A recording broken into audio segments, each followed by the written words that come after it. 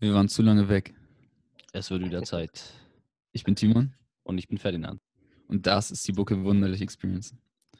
Und wir sitzen hier mit äh, Paul Weißer. Erstmal äh, frohe Ostern an euch beide. Mhm, ebenso. Ja, frohe Ostern. Ähm, genau, wir Hallo. sitzen hier mit Paul Weißer. Ähm, du bist momentan ähm, in einer äh, Chefposition, wenn ich dich richtig verstanden habe, in einer ja, größeren Firma. Ähm, und wir haben dich entdeckt, oder du hast uns entdeckt über Instagram, wo du jetzt so ein bisschen ähm, ein Nebenprojekt äh, eröffnen willst. Ähm, mit der Leaders Revolution. Du möchtest ähm, Führungskräften helfen, wenn ich dich richtig verstanden habe, äh, indem du ähm, dann Unternehmen irgendwie aufbauen willst, das ähm, nicht nur wie sonst viele Seminare oder ähnliches hält, also viel Wissen verbreitet, sondern auch noch direkt dann irgendwie den praktischen Teil dazu gibt und direkt den Leuten dann direkt da zeigt, wie das geht. Ist das richtig so? Genau, genau, genau, genau. Okay, genau, das ähm, ist das, das ist das Ziel dahinter. Wie, ähm, wenn du jetzt sagst, den praktischen Teil dazu bringen, wie, wie hast du dir das da vorgestellt? Also willst du irgendwie dann für die einzelnen ähm, Naja, Persönlichkeiten dazu muss man erstmal, dazu muss man erstmal ein bisschen weiter ausholen. Man muss ja erstmal die, ähm, die Motivation dahinter vielleicht äh, erklären, warum ich das überhaupt mache. Ähm, das ist mir immer ganz wichtig. Ähm, weil du hast ja schon gesagt, ich bin, ich bin äh, aktuell in, in, in einer Chefposition in einem größeren Unternehmen und ähm, diese Position belege ich bereits äh, seit acht Jahren. Also nicht äh, das gleiche Team, aber eben auf dieser Ebene bin ich seit acht Jahren unterwegs. Und ähm, ich würde gerne mit euch zurückgehen in die Anfangszeit meiner Führungskarriere sozusagen. Also Sehr Ja, gerne. Da gerne auf jeden Fall. Du kannst uns ja auch allgemein nochmal, du hast uns eben ja gerade schon ein bisschen was erzählt, ähm, wie Ja. das Ganze gekommen ist, wie der Werdegang da war, von, ich sag mal, von der Schule ähm, bis dann ins Berufsleben, weil das ist bei uns auch so ein bisschen äh, gerade der Fall, dass man sich überlegt, warte mal, war Schule jetzt wirklich das? Und dann ist die Frage, wie geht's weiter? Und vielleicht geht's ja doch in ganz andere Richtungen und jeder hat andere Vorstellungen. Deshalb wäre das ganz interessant, glaube ich, so zu wissen, ja, wie war denn das bei dir? Also wie kommt man aus der Schule dann auf einmal dazu, ähm, eine Führungsposition in einem der größten Luftfahrtkonzerne in Europa zu sein? Ne? Mhm. Äh, naja, also ich muss dazu sagen, mir ging es damals kein Stückchen anders als, äh, als äh, ich glaube, so den meisten Absolventen von äh, Schule.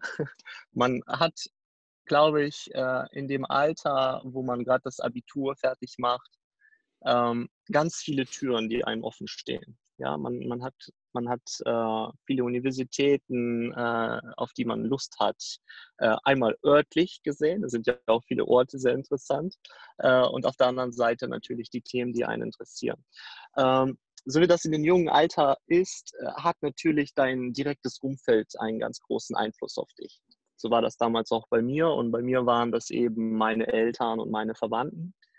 Ähm, meine Eltern sind beide Ingenieure Mhm. und äh, meine Mama ist äh, Chemieingenieurin und äh, mein Dad ist äh, Diplom-Ökonomist. Das heißt, die haben beide in großen Industrien gearbeitet und so war das so für mich das sicherste, weil da wusste ich, wie es geht, da wusste ich, was man davon hat und so weiter und äh, dementsprechend haben natürlich meine Eltern mir auch genau das geraten und die Entscheidung bei mir war nicht schwer. Also ich habe einfach geguckt, okay, welche, welche Industrien in dem äh, Wohnort, wo ich bin, äh, welche Industrien gibt es und ähm, was habe ich sozusagen im Angebot. Hm. Und da bin ich eben auf diese große Firma gekommen und habe mich dort beworben und das hat geklappt einfach. Ähm, War direkt die, die erste Entscheidung, Firma dann auch? genau, genau. Also bei das der war meine einzige, das war meine einzige Bewerbung, die ich geschrieben habe. Und äh, es war, es war halt so, der, die tatsächliche Entscheidung, die ich damals mit mir selber fällen musste, war, gehe ich jetzt in eine Firma und mache eine Ausbildung oder studiere ich? Für mich war Ah. immer klar, ich möchte ich möchte studieren. Für mich war immer klar, äh, dass ich irgendwann in diesen, also in Ingenieursbereich gehen möchte. Ähm, aber auch da viele Wege führen nach Rom. Ja, man kann ja viele, viele verschiedene, äh, sag ich mal, Möglichkeiten nutzen, um am Endziel anzukommen. Und das war so ein Ding, wo ich äh, eine Entscheidung treffen musste, damals in dem jungen Alter. Ähm, ob ich den Weg gehe, dass ich ein direkt, also ein Fest äh, äh, Vollzeitstudium anfange oder ob ich jetzt irgendwie eine Ausbildung mache, eine klassische und mich dann da mal äh, irgendwie hocharbeite. Das waren mhm. diese, die, diese zwei Wege. Ich habe mich damals äh, dafür entschieden, erstmal eine Ausbildung zu machen. Warum? Weil mein größter Wert schon immer Freiheit war. Okay, aber und wie hängt das mit dem Studium zusammen? Weil wenn ich jetzt Freiheit, wenn ich jetzt Freiheit im Kopf hätte, dann würde ich ja erstmal denken, dann studiere ich gerade nicht. Dann mache ich vielleicht was, wo ich ortsunabhängig arbeiten kann, wo ich vom Homeoffice arbeiten kann und somit dann ort- und zeitunabhängig für mich selber entscheiden kann, wie und was ich mache. Also ergibt da eigentlich Studium noch wenig Sinn, weil da ist man dann ja Uni gebunden, man ist ortsgebunden, zeitgebunden, was Vorlesungen angeht. Also das ist doch eigentlich, ich weiß nicht, was du genau unter Freiheit verstehst, aber ähm, mein, mein Verständnis von Freiheit ist da doch eigentlich ziemlich eingeschränkt, oder? Ja, da, heute gebe ich dir recht. Ja, jetzt musst du mal die Zeituhr äh, 16 Jahre zurückdrehen. Äh, ein 18-Jähriger, der in, äh, also ich bin Baujahr, ich bin Baujahr 86. Ich bin, äh, werde jetzt demnächst 34. Äh, Und damals, als wir 18 waren, unsere Generation, war für uns Freiheit, ich kaufe mir ein Auto. Ah, mhm. Ja, ich kaufe mir ein Auto und mit diesem Auto kann ich überall hinfahren, wo ich Bock drauf habe. Und ein Auto sich zu kaufen, äh, dafür brauchst du Kohle. Also damals haben wir wirklich Freiheit, viel, viel, viel, also ich zumindest und mein Freundeskreis, wir haben Freiheit mit Geld verbunden. Das heißt, mhm. wenn ich irgendwie ein eigenes Geld habe, kann ich mir Dinge leisten und mit, durch dadurch bin ich frei, äh, in, natürlich in irgendwo in einem eingeschränkten Bereich. Also diese Freiheit ist nicht so, wie, wie es jetzt heutzutage möglich ist. Hey, ich habe mein Abi fertig, alles klar, ich gehe jetzt mal ein Jahr irgendwie auf Reisen. Haben wir auch viele gemacht.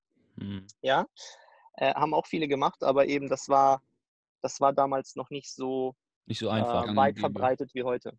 Mhm. Ja, okay, und das Studium war für dich dann die Möglichkeit, viel Geld zu verdienen oder hattest du das erhofft oder warum das Studium? Weil du sagst, Freiheit ist für dich äh, in dem Alter, ähm, wohl angemerkt, ist in dem Alter für dich ein dickes Auto zu fahren und das dir kaufen zu können, also das haben, das kaufen zu können oder das haben, was du haben möchtest. War dann ähm, der Grund, warum du dann das Studium als Freiheit gesehen hast, weil du dachtest, dass das Studium dir im Endeffekt zum Ziel hm. viel Geld bringt oder? Warum hat das Studium nee, das Studium habe ich tatsächlich, das Studium habe ich tatsächlich eher einfach als ein Ding gesehen, was ich, das war für mich selbstverständlich, einfach aus okay. meinem Elternhaus. Ne? Also mhm. ich habe ja erzählt, meine Eltern sind beide Ingenieure und das war irgendwie so eine Sache. Ähm, es war mir klar, hm, okay, wenn du beruflich irgendwie was machst, also ne, wir, das Ding ist, bei uns gibt es in der Familie keinen, der selbstständig ist. Das heißt, eine Selbstständigkeit war etwas komplett äh, Fremdes für uns. Ne? Mhm. Äh, deswegen dieser klassische Weg. Und da war für mich klar, okay, wenn du einen Job ausübst, dann wird das irgendwie was mit Ingenieurs sein. Ne? Also dass ich habe mich damals sehr für Maschinenbau interessiert und äh, in die Richtung äh, wollte ich auch unbedingt gehen. Also das hat mit Freiheit nichts zu tun. Der Wert Freiheit äh, hat mir einfach dabei geholfen zu entscheiden, ob ich jetzt ein Vollzeitstudium mache und mich damit ah, abhängig okay. mache von äh, der finanziellen, äh, sag ich mal, Seite von meinen Eltern oder vom Staat. Na, du würdest dann ja BAföG beantragen oder deine Eltern finanzieren dir das oder du musst irgendwo noch nebenbei jobben, damit du dir das so komplett leisten kannst. Ähm, oder ob du irgendwo selbstständig, in, also selbstständig als, als äh, ne, also nicht selbstständiger, sondern als, als, selber irgendwo arbeiten gehst in einem ja. Unternehmen, wo du solides Einkommen hast und dadurch halt diese Freiheit hast, genau eigenständig auf deinen eigenen Beinen zu stehen und da dein, dein Ding machen kannst. Also damit habe ich das jetzt verbunden. Ach so, okay, alles klar, habe ich das falsch verstanden. Und ähm, man kann ein Studium nebenbei machen? Das wusste ich gar nicht. Oder wie sieht das oh, aus? Klar, ja? Natürlich, natürlich. Da gibt es ja mittlerweile, mittlerweile gibt es da sehr, sehr viele äh, private Fachhochschulen, aber auch äh, staatliche, ich weiß nicht, ob das mit einer Universität geht, das, da bin ich überfragt, aber mit Fachhochschulen, privaten Ah, okay, ja, Fachschulen okay, alles klar. Ich gibt es dachte, da okay, ganz, ganz viele Möglichkeiten. okay, ich dachte schon nämlich Also Uni, hä? ich, äh, du, hattest, du hattest mir erzählt, du willst, du willst Medizin studieren. Ich glaube, das kann man nicht äh, nebenbei machen. Nein, das glaube ich, Wobei kann ich- man. Auch, Nee, nee, es ich geht glaube, tatsächlich nicht. Ähm, ich habe mich da schon ein bisschen drüber informiert gehabt, auch für Ferdi. Aber alle anderen Sachen gehen auch ähm, mit Unis auch, also nicht nur Fachhochschulen. Ja, aber ich Ja. glaube, Medizinstudium ist ähm, wirklich ein Studium, wo man, wenn man gut Mhm. sein möchte, aber auch wenn man es, glaube ich, bestehen möchte, wirklich dranbleiben muss. Und bei mir ist ja noch was anderes. Ähm, ich werde ja privat studieren. Ähm, ich habe einen Schnitt von 2,1 gemacht Mhm, als cool. Abitur. Und ähm, mit einem 2,1er kannst du es vergessen. Ähm, ich habe gestern mit ähm, einer Bekannten geschrieben und ähm, deren Freundin hat ein 1,0er. Kennst du auch, die waren in unserer Schule. Ähm, Timon. Auf jeden Fall. Und die hatten 1,0er. Und die hat sich dann beworben und ist auch bei ein, zwei Unis fürs Wintersemester 2020 angenommen worden. Aber bei drei Unis ihre Wahl, also ihre ersten Ortspräferenzen, ist sie nicht reingekommen. Und darunter war zum Beispiel Hamburg. Und das ist, finde Mhm. ich, so krank. Also, das ist so, Ja. das ist so Ja, krank. ja. Überleg mal für einen 1-0er. Meine Freundin macht jetzt auch einen 1-0er. Ähm, und die schuftet dafür richtig hart und die ist allgemein so ein Brain, ne? Die hat es allgemein irgendwie drauf zu pauken, die ist, versteht Sachen einfach schnell und ist in den naturwissenschaftlichen Fächern einfach mega gut. Also die hat jetzt irgendwie nur in jeder Mathematikarbeit 15 Punkte, in jeder Chemiearbeit irgendwie 14, 15 Punkte und allgemein richtig krank, ne?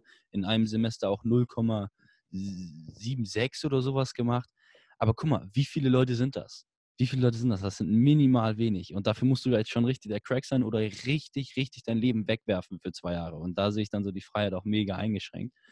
Ja. Ähm, und, Und selbst, allem- da, und selbst allem, damit, ne? Krieg, kommst du nicht rein oder was? Was ist das für ein Und ich, ich kann euch aber, Jungs, ich kann euch eine Sache sagen. Äh, ich, ich war auch durch, durch meine Eltern immer getrieben, gute Noten zu schreiben. So, ich habe mein, mein Abi ist auch nicht gut gewesen. Ne? Also ich war, ich weiß gar nicht mehr, ich glaube, ich war sogar im Dreierbereich, weil ich habe vorher in die Realschule besucht, habe nach der 10. Klasse bin ich dann rein ins, äh, in, in, ins Gymnasium und das war für mich natürlich ein Unterschied wie Tag und Nacht. Mhm. Äh, und ähm, am Ende, also im Real Life nachher, na, also Schule, Noten, alles schön und gut. Na, natürlich äh, sollte man, wenn man, wenn man es kann, sollte man sich da wirklich äh, bemühen, äh, gute Noten zu schreiben. Aber nachher im echten Leben nützen dir die Noten wirklich nicht mehr so viel. Ja, das ist Da auch, kommt es eher, da kommt es eher darauf an, auf deine sozialen Kompetenzen, auf deine emotionale Intelligenz und solche Sachen. Also wirklich diese Dinge sind dann wirklich gefragt, äh, damit du dann nachher im Job wirklich ähm, vorankommst.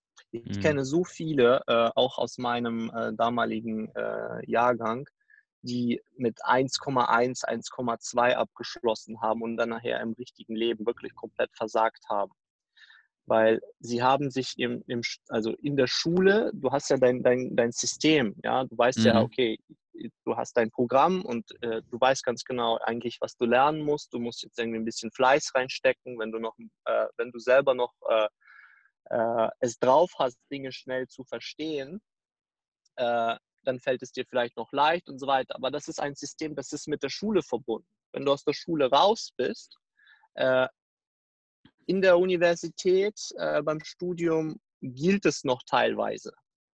Aber später im richtigen Job ist das alles, kannst das alles wieder verwerfen. Also diese Mhm. ganzen, ich schreibe eine gute Note und ich bin gut, das ist dann weg.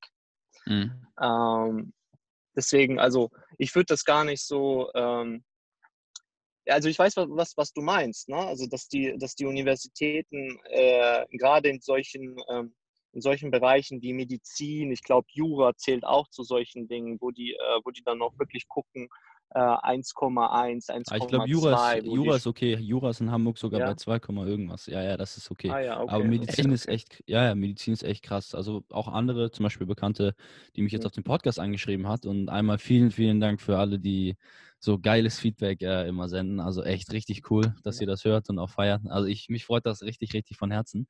Jedenfalls sind die Ja, es auch mit einem 2, ähm, 2,3er oder sowas ist jetzt an der Uni Hamburg für Jura angenommen worden. Aber das, das Ding ist einfach, ähm, ich würde es schon sagen, weil viele Leute sagen, ja, das Abitur sagt nichts aus. Doch, es sagt ganz, ganz viel aus, weil es sagt schon aus, wenn du nicht, wenn du nicht richtig, richtig, richtig das Brain bist, dann sagt das schon aus, ob du Fleiß hast und es sagt aus, Mhm. dass du lernen kannst. Das heißt, für ein Studium wie Medizin ist das natürlich ein Faktor, weil natürlich ist es, wenn du einen 1-0er hast, ne, ist das ein, ein, ein Aspekt, der nicht vernachlässigt werden darf, weil der aussagt, wie gut du Sachen lernen kannst. Und das Medizinstudium ist mega viel Lernen. Also, Ja. das ist richtig, richtig In viel dem- Lernen. in Und- dem- Ja, ja, in dem- bei, bei, bei Uni und bei Schule ist es dann ja nochmal ähnlicher. Das mein- meintest du ja auch gerade schon, Paul. Aber ähm, wenn es dann später ins Arbeitsleben kommt, ist ja trotzdem noch was anderes. Wenn du Ja. jetzt Arzt bist, heißt es, weißt du, heißt nicht, dass du ein guter Arzt bist, nur weil du irgendwie, äh, was weiß ich, in der Schule gut. Nee, genau, und das, Das ist dann das Ding. also- Wie, wie ist es denn nach dem Studium? Und das ist, glaube ich, die eher interessantere Frage. Klar, im Studium, du kannst sogar mit einem 1-0 am Studium abschließen. Natürlich. Die Frage ist nur, wirst du Oberarzt? Nur weil du ein 1-0 im Ding jetzt hattest? Vielleicht nicht. Vielleicht werden die besten Oberärzte, ne, das ist natürlich nicht immer gegeben. Vielleicht werden auch die 1-0er Oberärzte oder Chefärzte.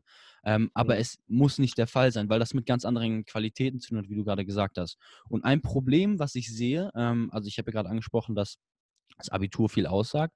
Und deshalb finde ich, kann man das schon als einen Aspekt heranziehen ähm, fürs Medizinstudium, auch um einen Platz zu bekommen. Das Problem, was ich sehe, ähm, ist besonders, dass Jungen in dem Alter 16, wenn die gerade 11., 12. Klasse kommen, die sind, würde ich sagen, weniger reif als Frauen. Sind sie. Also besonders was so Lernen angeht, die passen sich auch nicht gerne in dieses System und wenn ihnen ein Fach nicht gerne Spaß macht, dann werden sie das auch nicht wirklich machen. Wohingegen ich die Erfahrung gemacht habe, ähm, dass Frauen da eher mit dem System mitgehen und da ähm, eine höhere Akzeptanz haben und auch in dem Alter schon ein wenig reifer sind, was da diese Bildungsinstitute angeht und noch allgemein vielleicht ein bisschen besser pauken können. Und ähm, das sieht man ja auch. Frauen machen besseren Abischnitt.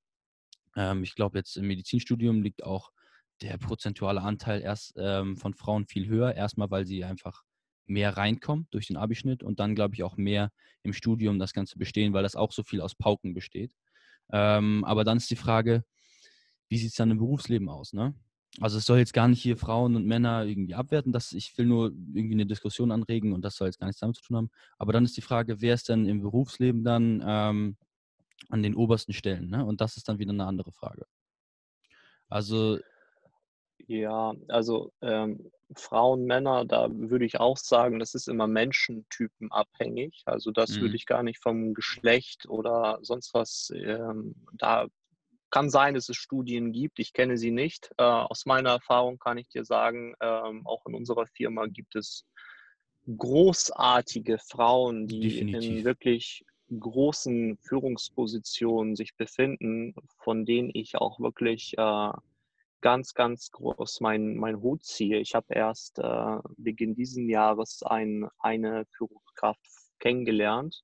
Äh, die ist Mama von drei Kindern, ja, äh, und ist ähm, Vizepräsidentin von krass. einer Ja, von einem Bereich. Ja, also sie hat irgendwie ähm, um die 500 Mitarbeiter, also in verschiedenen Strukturen unter sich. Und äh, sie habe ich kennengelernt. Ich hatte eine Unterhaltung mit ihr geführt und ähm, so wie sie das Team führt, was für ein Verständnis sie hat, welche Empathien sie empfinden kann für jeden einzelnen ihrer Mitarbeiter und trotzdem klare Ziele äh, vorgibt, ja, und diese auch erreicht. Das ist der Wahnsinn. Und nebenbei macht sie noch, also nebenbei, ne, also sie, sie hat dann immer noch ihre Familie, wo sie dann, dann auch ihr Ding macht. Also das will ich gar nicht, das will ich gar nicht irgendwie ähm, abgrenzen beziehungsweise da irgendwie ähm, vergleichen wollen. Ich finde, das ist immer Menschentyp abhängig. Entweder du bist jemand, der äh, von, ja, dem, also es hat, hat immer vieles mit Werten zu tun auch, ja, was für, und vor allem auch dem Warum, ja, warum mache ich das? Mache ich das, weil es mir Spaß macht? Äh, dann bin ich in jedem Ding äh, äh, gut irgendwann, ja, also ähm, ja, äh, Timon, ne? Timon, Ja. oder? Ich, Ja. Genau, Timon, du, du hast ja, Timon. du hast ja erzählt, du, ähm, du möchtest ja Boxweltmeister werden. Ne? Ja, das ist das Ziel. Genau, äh, das wirst du ja nicht machen, weil, weil du irgendwie Ruhm und Ehre nur brauchst, sondern wahrscheinlich macht dir auch der Weg gerade Spaß, oder? Auf jeden Fall, auf jeden Fall. Ich liebe Boxen. Sonst würde ich es Genau. auch nicht machen, glaube ich, mittlerweile. Genau, und, und das ist der Punkt. Und da ist es egal, äh, ob du jetzt äh, Mann bist, Frau bist oder was, oder irgendwas findest, was, was du liebst, tatsächlich, dann bist du in dieser Sache auch gut. Ne? Okay, okay einmal, um Ähm, das, um, einmal um ganz kurz was klarzustellen. Ähm, ich wollte nicht damit sagen, dass wenn man dann ins Berufsleben ähm, einsteigt, dass es sich dann herauskristallisiert und wollte damit dann nicht die Männer höher stufen, weil ich Mhm. damit dann sagen wollte, ja, schaut doch mal, wie es gerade ist. Männer sind an Führungspositionen, bla bla bla. Also kristallisiert nee, sich das- daraus. Das wollte ich damit nicht sagen, auf gar keinen Das Fall. ist, das, das ist Ähm, bei ich glaube, das so ist- nicht, nicht Ich glaub, angekommen. ja, ja, ich glaube, das ist aber gerade so ein bisschen rübergekommen. Ähm, das will ich einmal klarstellen, dass es auf gar keinen Fall nicht so ist. Und es ist natürlich typenabhängig. Ich wollte nur hauptsächlich rauskristallisieren, dass ich denke, dass in einem Alter von 16, 17 Jungs wesentlich unreifer Mhm. sind und dadurch dann einfach in der Schule oft einen schlechteren Mhm, Schnitt mhm. haben und dass dadurch einfach ähm, sich solche Konstellationen ergeben. Und ähm, das ist jetzt nicht einfach, weil Frauen da hier anders oder Männer. Ich glaube einfach, Das mag sein. Ja. Äh, das, der, der Punkt ist einfach, ähm, wir haben ja da über das Thema gesprochen, okay, ähm, wir haben einmal das Schulsystem, dann haben wir irgendwie das System Ausbildung, wir haben das System Studium und dann haben wir das System Arbeit. Ja? Und wichtig ist zu begreifen, dass es alles verschiedene Systeme sind, wo überall verschiedene Regeln gelten. Mhm. Das ist das, was ich sagen wollte. Das heißt, in der Schule musst du dich an die Lehrer halten, also die vermitteln dir dein, dein, dein Stoff, ja, du musst den Stoff verstehen und dann wirst du irgendwie abgetestet. Und wenn du gut in diesem Test abschneidest, dann hast du eine gute Note und dann hast du am Ende das Endresultat, dein Zeugnis, das sieht dann entweder aus 1,0 oder halt äh, entsprechend schlechter, je nachdem, wie du dich in diesem System etabliert hast. Was ich sagen möchte ist, ähm, ich gebe euch mal ein Beispiel. Ich habe ähm, ja eine Ausbildung angefangen, habe ich euch ja erzählt. Und die Ausbildung habe ich ähm, vorzeitig abgeschlossen. Also normalerweise dauert so eine Ausbildung äh, zum Fluggerätmechaniker dreieinhalb Jahre. Und ich habe es in drei Jahren geschafft.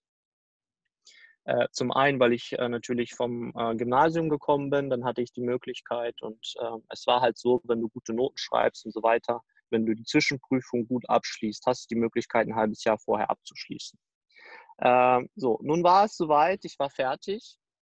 Ich war nun äh, Geselle, habe meinen Gesellenbrief bekommen und hatte meinen ersten Arbeitstag so richtig in der realen Welt. Ja? Was glaubt ihr, mit welchem Selbstbewusstsein bin ich da reingegangen? Oh, also das ist so eine Entweder-Oder-Frage. Entweder ist es richtig, richtig krass gewesen und es war viel zu viel oder überhaupt nicht. ich tippe mal auf überhaupt nicht. Also es ist tatsächlich so gewesen, dass ich äh, dachte, ich äh, bin hier der, der Flugzeugbauer schlechthin. Ah, ja. okay. Vertippt. ja, weil scheiße. äh, ich habe meine Ausbildung ein halbes Jahr vorher abgeschlossen. Meine ganzen anderen Leute, die sind da noch irgendwie am Lernen und ich bin jetzt hier schon bereit. Ja, der Ich, äh, Übertalentierte. Genau. Äh, ähm, das heißt, äh, komm, lass mich mal in Ruhe, lass mich mal machen. So, was ich damals aber noch nicht verstanden habe und es äh, durch Schmerz lernen musste, ist, äh, dass ich einfach, ihr müsst euch das vorstellen wie beim, beim, äh, beim Computerspiel. Ja? Du bist irgendwann, du fängst ja an irgendwie da, und dann irgendwann bist du im nächsten Level. Und der nächste Level ist ein bisschen schwieriger. Da gelten vielleicht auch andere Regeln. Ja? Mhm. Da, da, kann, da, da ist das nicht mehr äh, gültig, was du, also du hast dir vielleicht in deiner, in deiner Schule oder in deiner Ausbildung, hast du dir einen Top-Titel angeeignet. Ja, da bist du auf einmal äh, äh, ein 1,0 Abi-Typ. Ja, geil, alle feiern dich, alle feiern dich, die Verwandten feiern dich, die Freunde, alle sagen, hey, was bist du für ein krasser Typ? So, so mit dieser Einstellung gehst du jetzt ins Studium. Äh, Im Studium ist eine neue Welt. Wenn du nicht dieses Mindset hast, okay, ich bin hier neu, ich fange jetzt hier von vorne an, es gelten, also ich bin wieder bei Null sozusagen, ne? äh, dann, hast du ein schwier äh, dann hast du ein Problem irgendwann. Hm. Und dieses Problem hatte ich an meinem allerersten Arbeitstag. Ähm, ich habe gesagt, ich, hab, ich kann das alles alleine und ich habe äh, dann angefangen zu arbeiten. Ich werde euch jetzt nicht im Detail erzählen, was ich da gemacht habe, aber ich habe euch einen Schaden ungefähr von 40.000 Euro an diesem Tag verursacht. Was? Was? Ja, ich habe mich hier verbohrt und dann sollte ich einen Teil ta äh, tauschen und anstatt zu sagen, hey, könnt ihr mir mal helfen, habe ich versucht, das selber zu tauschen und äh, Dann habe ich noch ein anderes Teil kaputt gemacht und und und, bis dann irgendwann mein Meister gekommen ist und hat mich gesagt, äh, pass mal auf, Paul. Schön, dass du da bist. Wir freuen uns. Aber du gehst jetzt erstmal für zwei bis drei Wochen in Urlaub, weil es war mitten im Sommer, als ich ausgelernt habe und alle waren in Urlaub. Er hat gesagt, du gehst jetzt bitte in Urlaub, weil du äh, verursachst hier gerade mehr Schaden, als du uns einbringst.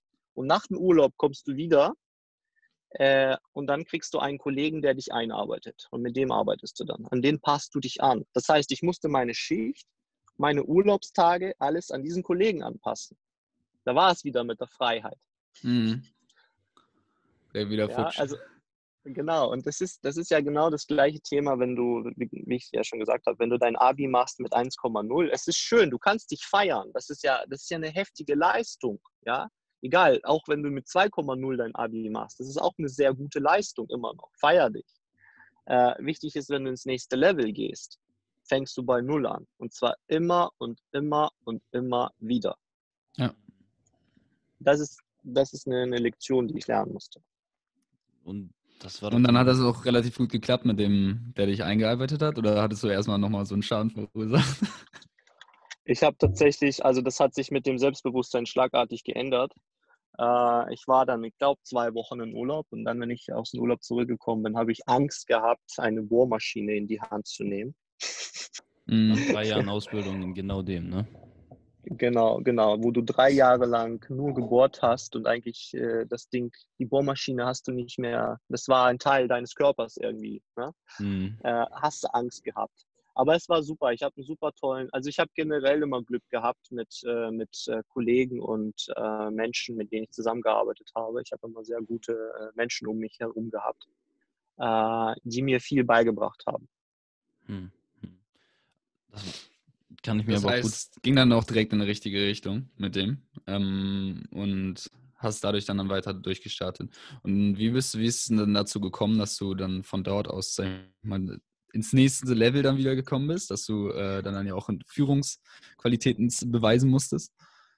Genau, also es war dann so, dass ich äh, angefangen habe zu studieren, direkt nach der Ausbildung. Ähm, ich habe damals in Darmstadt studiert, es war auch eine private Fachhochschule äh, weil eben mein, mein Abi war, mein Abi-Schnitt war wirklich, war irgendwas mit drei irgendwas, also was, mhm. das war wirklich schlecht. Äh, dafür war meine Ausbildung sehr gut, also die Note da, da war ich irgendwo bei 1,4 und deswegen private Fachhochschule. Zum einen, weil ich das nebenbei machen wollte. Damals haben noch nicht so viele äh, staatliche Universitäten und Fachhochschulen das angeboten. Ähm, und zum einen natürlich auch jetzt ähnlich wie, äh, wie bei dir, Ferdi, äh, dass, ähm, dass es einfach äh, einfacher für mich war, selbst zu entscheiden, private Fachhochschule, um halt einfacher reinzukommen. Ich habe dann also das, das weiß ich nicht, das, das weiß ich nicht, also wie das so unterschiedlich ist, das würde ich jetzt nicht so pauschalisieren bei privaten Hochschulen. Ja. Ähm, also zum Beispiel der Test, den ich gemacht habe und das Auswahlverfahren war, es war schon knackig. Also jetzt bei der privaten. Und ich glaube, das würden viele Leute, äh, die auch ihr Abi gut gemacht haben und dann ähm, in ein, zwei Studiengänge reinkommen, würden das nicht hinkriegen.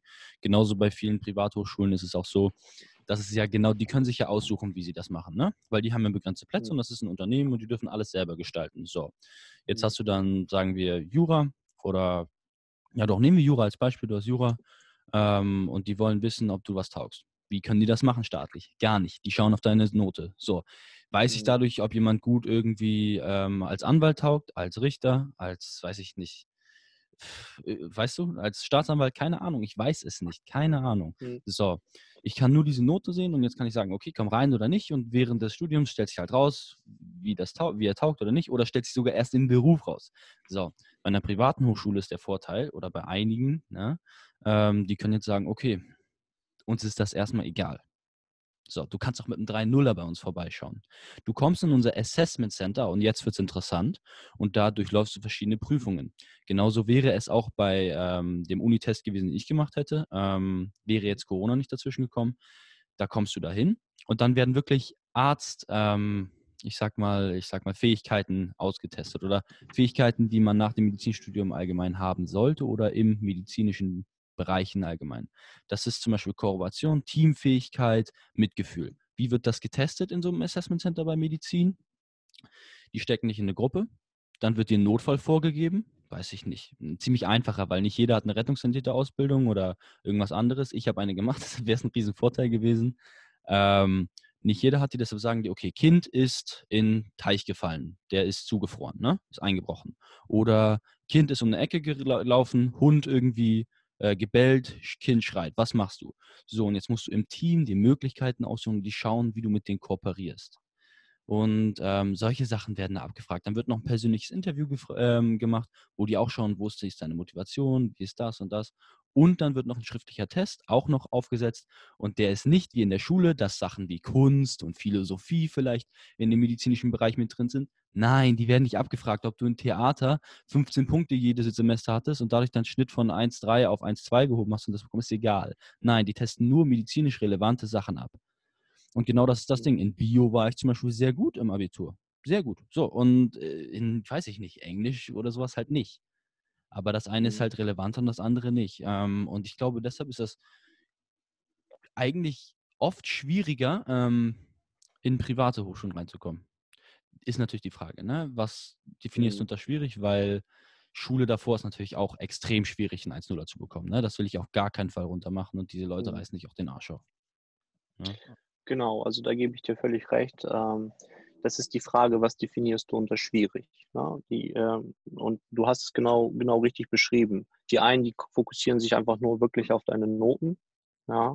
Äh, die anderen äh, machen solche Assessments äh, mit dir, um einfach wirklich, weil das eine ist Noten, was zeigen dir die Noten? Die Noten zeigen dir einfach, okay, du, du bist irgendwo, hast, hast eine gewisse Intelligenz irgendwo, ja, und natürlich auch, okay, dieser Mensch ist fleißig, aber was, was zeigen die Noten noch, das ganz wichtig ist? Wir haben am Anfang über Systeme gesprochen. Aber wie gut du dich an System anpassen kannst, beziehungsweise wie gut du in das System da selber passt, in das eine. Aus meiner Sicht ist das so.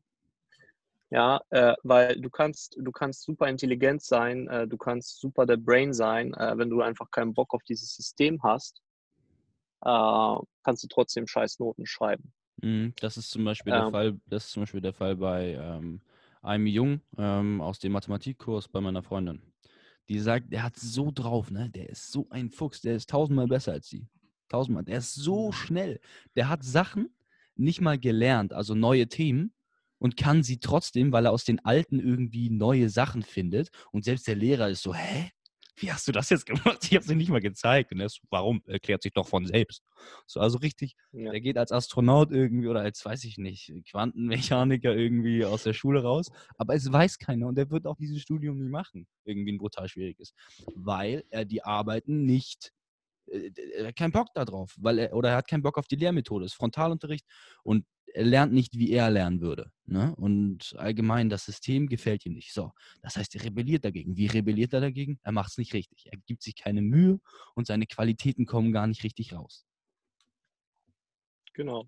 Und das, und das zeigen sich, das zeigt sich nachher in den Noten. Ne? So, und wenn ich jetzt zum Beispiel als ein und äh, das, was du beschrieben hast mit dem Assessment, Assessment Center, das machen ja viele, ähm, das machen ja auch viele Unternehmen so wenn du dich bei denen bewirbst, um ein duales Studium oder um eine Ausbildung, dann ist genau das, was du beschrieben hast, äh, mhm. ist auch Fakt. Also bei uns war das damals auch so, ähm, einfach so ein psychologischer Test, wo wir mit ungefähr 30 Menschen in einem Raum, also 30 jungen Menschen in einem Raum mhm. waren und da gab es eine Story, äh, Flugzeug ist abgestürzt, irgendwie, ihr seid vier Überlebenden, ihr habt eine Waffe, ihr habt das, das, dies, jenes, was macht ihr?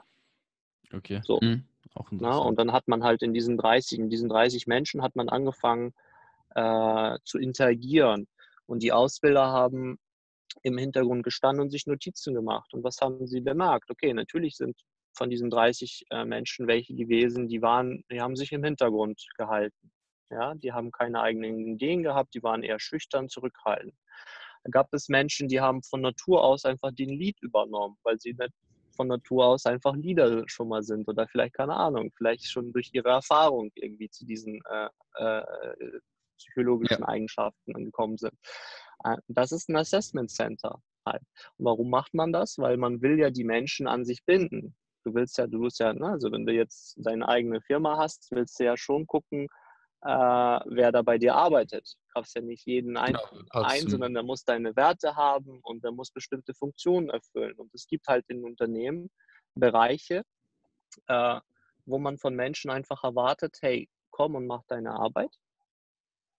Ja, es gibt Bereiche, wo man von Menschen erwartet, äh, komm, mach deine Arbeit und mach dir Gedanken bitte über die Zukunft. Ja, und, und, und. Also es gibt Mhm. ja auch in so einem Unternehmen mehrere, äh, mehrere Bereiche, wo äh, auch ganz verschiedene Menschen eingesetzt werden. Zum Beispiel nehmen wir mal äh, das Thema Qualitätssicherung. Mhm. Ja, am besten ist mir doch äh, jemand in der Qualitätssicherung, der extremst penibel ist. Ja, der zum Beispiel, wenn er da auf seinem Teller Erbsen und Gurken hat, dass er das nicht mag, wenn sie durchmischt sind und dass er sie erstmal trennt. Ne? Wenn ich so einen Menschen auf eine Qualitätssicherstelle packe, dann weiß ich ganz genau, an dem wird schon mal äh, kein, kein kaputtes oder verkratztes Produkt vorbeigehen, weil er wird das einfach, das wird ihn stören, er wird es sehen und das wird ihn ankotzen. Mhm. Ähm, interessant wird es natürlich dann, wenn dieser Qualitätssicherungsmensch auch mit anderen Menschen interagieren muss. Na, da muss er natürlich auch eine Kompetenz besch- äh, äh, beherrschen, um den, der diesen Kratzer verursacht hat, nicht irgendwie von der Seite blöd anzuschreien, so, hey, was hast du da gemacht und so weiter, sondern dann auch natürlich äh, irgendwie, äh, dass er dann halt äh, in der Lage ist, es auch vernünftig zu vermitteln und so weiter. Ja. Also das Thema ist riesig und komplex, ihr merkt das schon, wir können Ja, da ja, und stundenlang drüber Ich, reden. ich glaube, deshalb Ähm. sollten wir wieder zum äh, Lebensweg allgemein zurückfinden. Ich glaube, das ist auch ein ganz guter roter Faden. Ähm, Ja. Also du warst dann da in der Ausbildung, hast 40.000 Euro Schaden verursacht, aber das ist ja auch Am ersten diesen, Tag. am ersten Tag, das ist so krank. Und ähm, aber auch kein Wunder, oder? Bei Flugzeugtechnik, das ist ja ziemlich, Ja, ja. also teuer das alles. ist- also Das ist, das ist jetzt sehr, nicht- das ist ja. sehr schnell. Genau. Also es ist jetzt genau. äh, ne, nicht wie in vielleicht anderen äh, Ausbildungsberufen, wo ihr denkt jetzt so krass, wenn ich 40.000 Euro, wäre die Firma schon fast pleite gefühlt. Nee, nee, das sind ja, Ja. da kannst du ein Teil kaputt machen, das sind schon 40.000. ja, Ähm, du brauchst, du, du brauchst einfach nur, äh, du verbohrst dich einfach um zwei Millimeter und dann hast du schon einen Mhm. Schaden von 4.000 bis 5.000 Euro verursacht. okay, und wie ging es dann weiter? Ja, wie gesagt, also ich habe dieses Studium äh, dann irgendwann äh, begonnen und ähm, ich glaube, so ab dem fünften Semester hat mir das so die Tür aufgemacht. Ich war dann drei Jahre schon äh, Geselle. Ich habe drei Jahre wirklich gearbeitet äh, in, äh, im Blaumann. Ähm, und das war so der Zeitpunkt, wo ich sagte, okay, hm, jetzt habe ich in dem Bereich, wo ich war, alles gelernt. Ich lerne hier nichts mehr Neues dazu. Ähm, ich habe durch mein Studium parallel einige Sachen noch gelernt. Das heißt, es war so für mich die Zeit, sich weiterzuentwickeln. Und ich habe mich firmenintern weiter beworben auf eine Manufacturing Engineering Position. Mhm. Ähm, Was ist, Das hat geklappt. Genau. na gut, als Manufacturing Engineering äh, bist du derjenige, der, äh, also du bist die Schnittstelle zwischen der Produktion und dem Engineering sozusagen. Okay. Den Menschen, der das Produkt designt, Mhm. ja, der wirklich am Computer sitzt und das Ding irgendwie Design äh, fertig macht und dem Menschen, der das Ding fertigt. Du bist quasi der Übersetzer. Okay, dann hat wahrscheinlich auch Studium Daher. und Ausbildung so als Kombination gut geholfen dafür.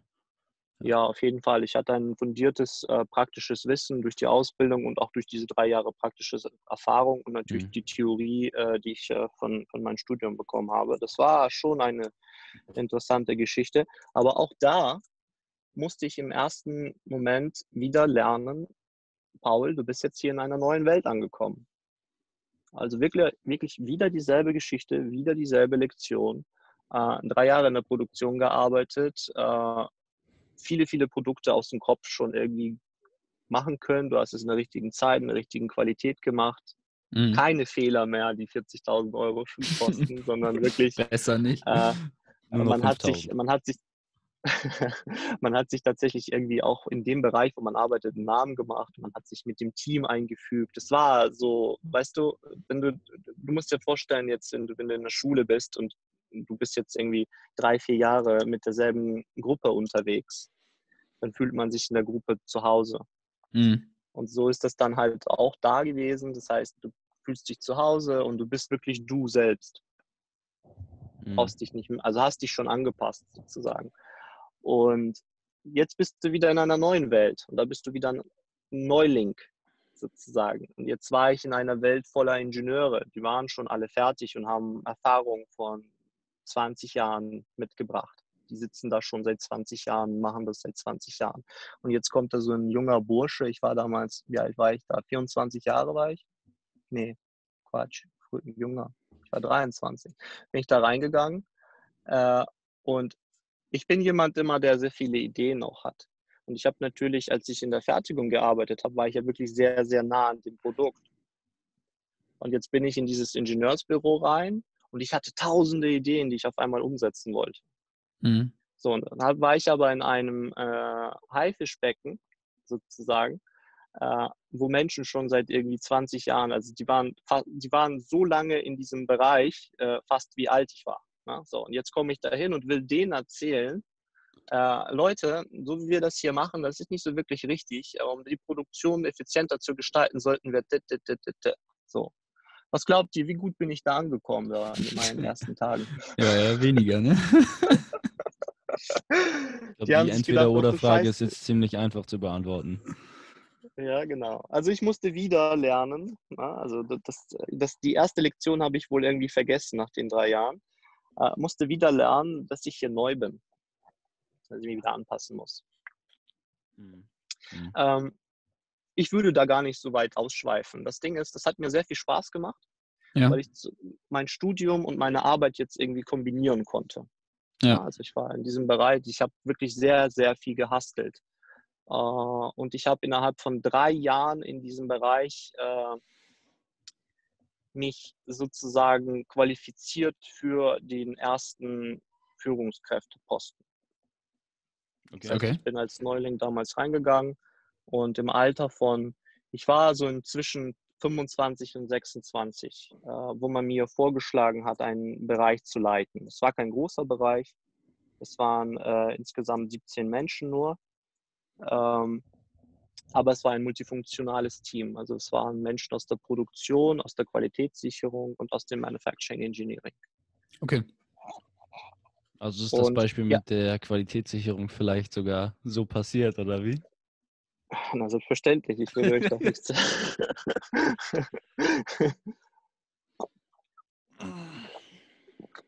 und ähm, ja, und auch da wieder.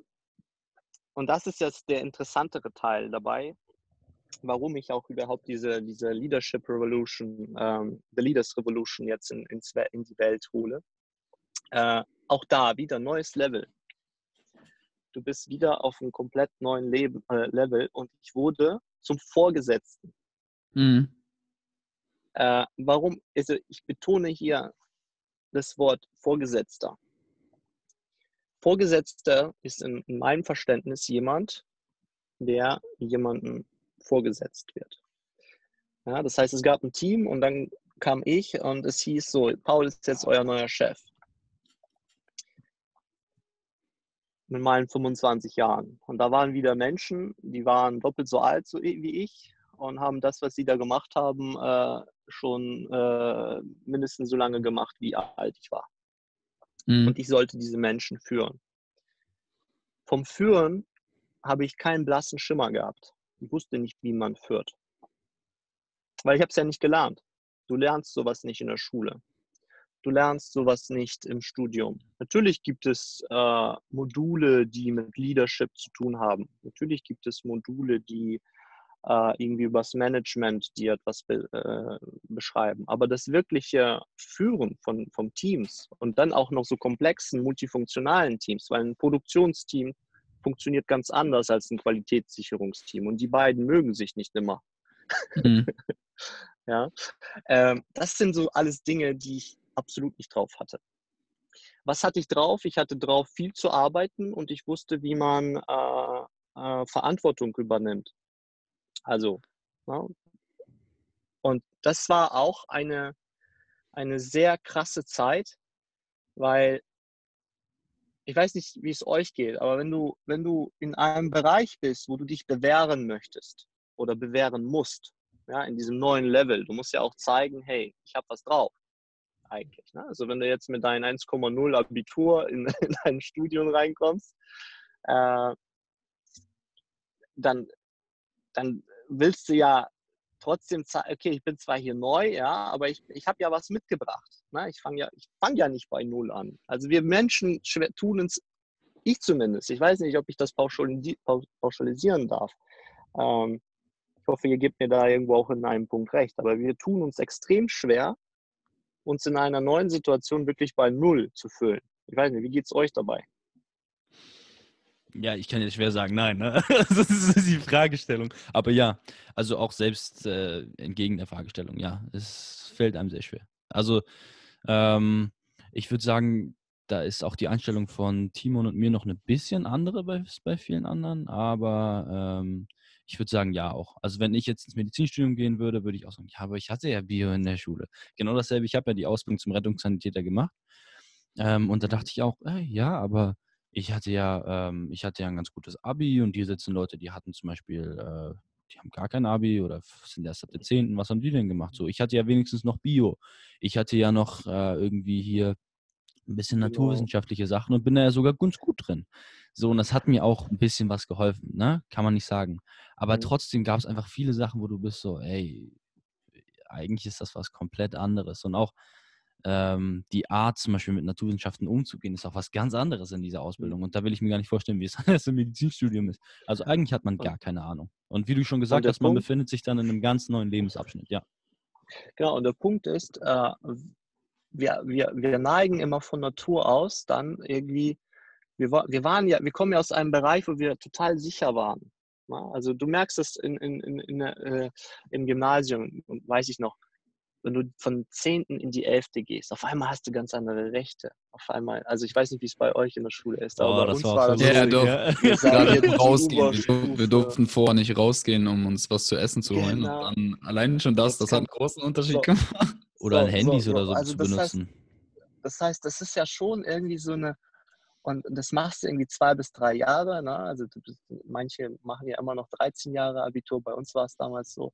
Und du, du gewöhnst dich an diesen Luxus sozusagen und das vermittelt, es macht ja auch was mit dir. Ähm, und jetzt bist du auf einmal wieder Erstsemestler. Ne? Das ist so, als äh, bist du wieder ganz unten quasi. Mhm. Ne? Und, das ist, und das ist schwierig. Und ähm, äh, wenn du dann merkst, äh, wir, wir versuchen dann krampfhaft, äh, ich weiß gar nicht, ob es für andere ist, also ob wir das anderen beweisen wollen. Ich glaube, es ist mehr was für uns selber. Bei mir war es damals, ich habe euch ja erzählt, äh, ich bin durch die, in diese Chefposition bin ich ja durch viel, viel Hasteln reingegangen. Ein Hasteln in meinem Engineering-Bereich, muss man das hier anschließen. Äh, und ich habe ja auch einen Engineering-Bereich dann geführt. So, und in dem Bereich konnte mir da wirklich, zumindest für das Produkt, was wir erstellt haben, keiner irgendwas erzählen, weil da hatte ich so ein heftiges Know-how. Ich habe zehn bis zwölf Stunden am Tag gearbeitet. Da konnte, konnte mir, das war wirklich meine Stärke. Und ja. in dieser Stärke habe ich mich verbissen. Weißt du? Weil, weil, weil, wenn du in einem neuen Bereich bist, also du, du führst jetzt das Team, äh, Produkt, konzentrieren uns einfach ah, mal auf. Du hast dich zu sehr darauf konzentriert, auf diesen einen Bereich, oder wie? Genau, wir haben jetzt zum Beispiel, ich äh, konzentriere uns jetzt mal auf das Team, du hast äh, Produktion und du hast Manufacturing Engineering zu führen. Und ich habe ja beides vorher gemacht. Ich habe ja selber Produktion gearbeitet und ich habe halt Manufacturing Engineering gearbeitet. Und ich hatte damals mein Selbstbewusstsein war, äh, okay, beide Sachen kann ich gut, sehr gut mhm. sogar. Okay. Mhm. Ähm, und wenn du jetzt aber in der Rolle der Führungskraft bist, zählen diese beiden Sachen eigentlich nichts. Es ist schön, dass du diese Erfahrung hast. Ja, aber diese Erfahrung solltest du eher dafür nutzen, um Empathie für deine Mitarbeiter zu empfinden. Mhm. Ja? Ich habe damals am Anfang aber diese Erfahrung eben genutzt, um mir dieses äh, Befriedigungsbedürfnis zu erfüllen. Weil du willst ja, wenn du einen Tag gearbeitet hast oder in der Schule warst und du gehst nach Hause, willst ja schon irgendwie so das Gefühl haben, okay, du hast heute was gemacht, du hast was gerissen, ne? und dieses Erfolgsgefühl. Ja. Und äh, damals, als ich Führungskraft geworden bin, habe ich das Mindset gehabt, okay, ich bin verantwortlich jetzt für das Produkt komplett und für das Team. Und da ich nicht wusste, wie man das Team, äh, diese Verantwortung, wie man das macht, so, also die Führungskräfte-Rolle äh, überhaupt, weil ich das nicht, mhm. nicht äh, gelernt habe, habe ich mich mehr auf das Produkt einfach konzentriert. Aber das machen, ja eigentlich an, das machen ja auch eigentlich andere Leute und du sollst diese Leute führen. Genau. Und das hast genau, du dabei vernachlässigt. Genau. Du bist also quasi genau. gar kein Teil mehr dieses, also du bist klar, du bist Teil des Systems, aber du bist eher das, was das System strukturiert und nicht das, was mhm. strukturiert wird. Ne? Oder was genau. sich selber genau, mit in der genau. Struktur sieht, sage ich mal, wenn man das so ausdrücken kann. Wenn ich das jetzt richtig genau, verstanden genau. habe. Genau, und äh, deswegen habe ich äh, mich am Anfang auch extrem schwer getan, zum Beispiel auch Aufgaben zu delegieren. Mhm. mhm. Ja, also selber machen. Ich, ich kann ja das Produkt besser machen. Ich, ich kann ja, ich kann das ja vielleicht, ich habe viel mehr Erfahrung in vielleicht Natürlich. Produktdesign. Warum soll unser zweiter Produktdesigner das machen? Ich weiß, dass ich es besser kann. Aber damit vernachlässigst du dann vielleicht den zu führen oder die Aufgaben zu verteilen an den ähm, in der Qualitätssicherung. Mit und Mitarbeiterentwicklung, Prozesse verbessern, ja, Mitarbeiterentwicklung, Prozesse ja. verbessern, Visionen umsetzen, mhm. und zwar mit dem Team zusammen. Also aus einer Vision heraus äh, äh, das Ganze so zu äh, formatieren und transferieren in die Mitarbeiter, dass man das in Ziele umsetzt und diese Ziele gemeinsam als Team erreicht. All mhm. diese Fähigkeiten hatte ich damals nicht.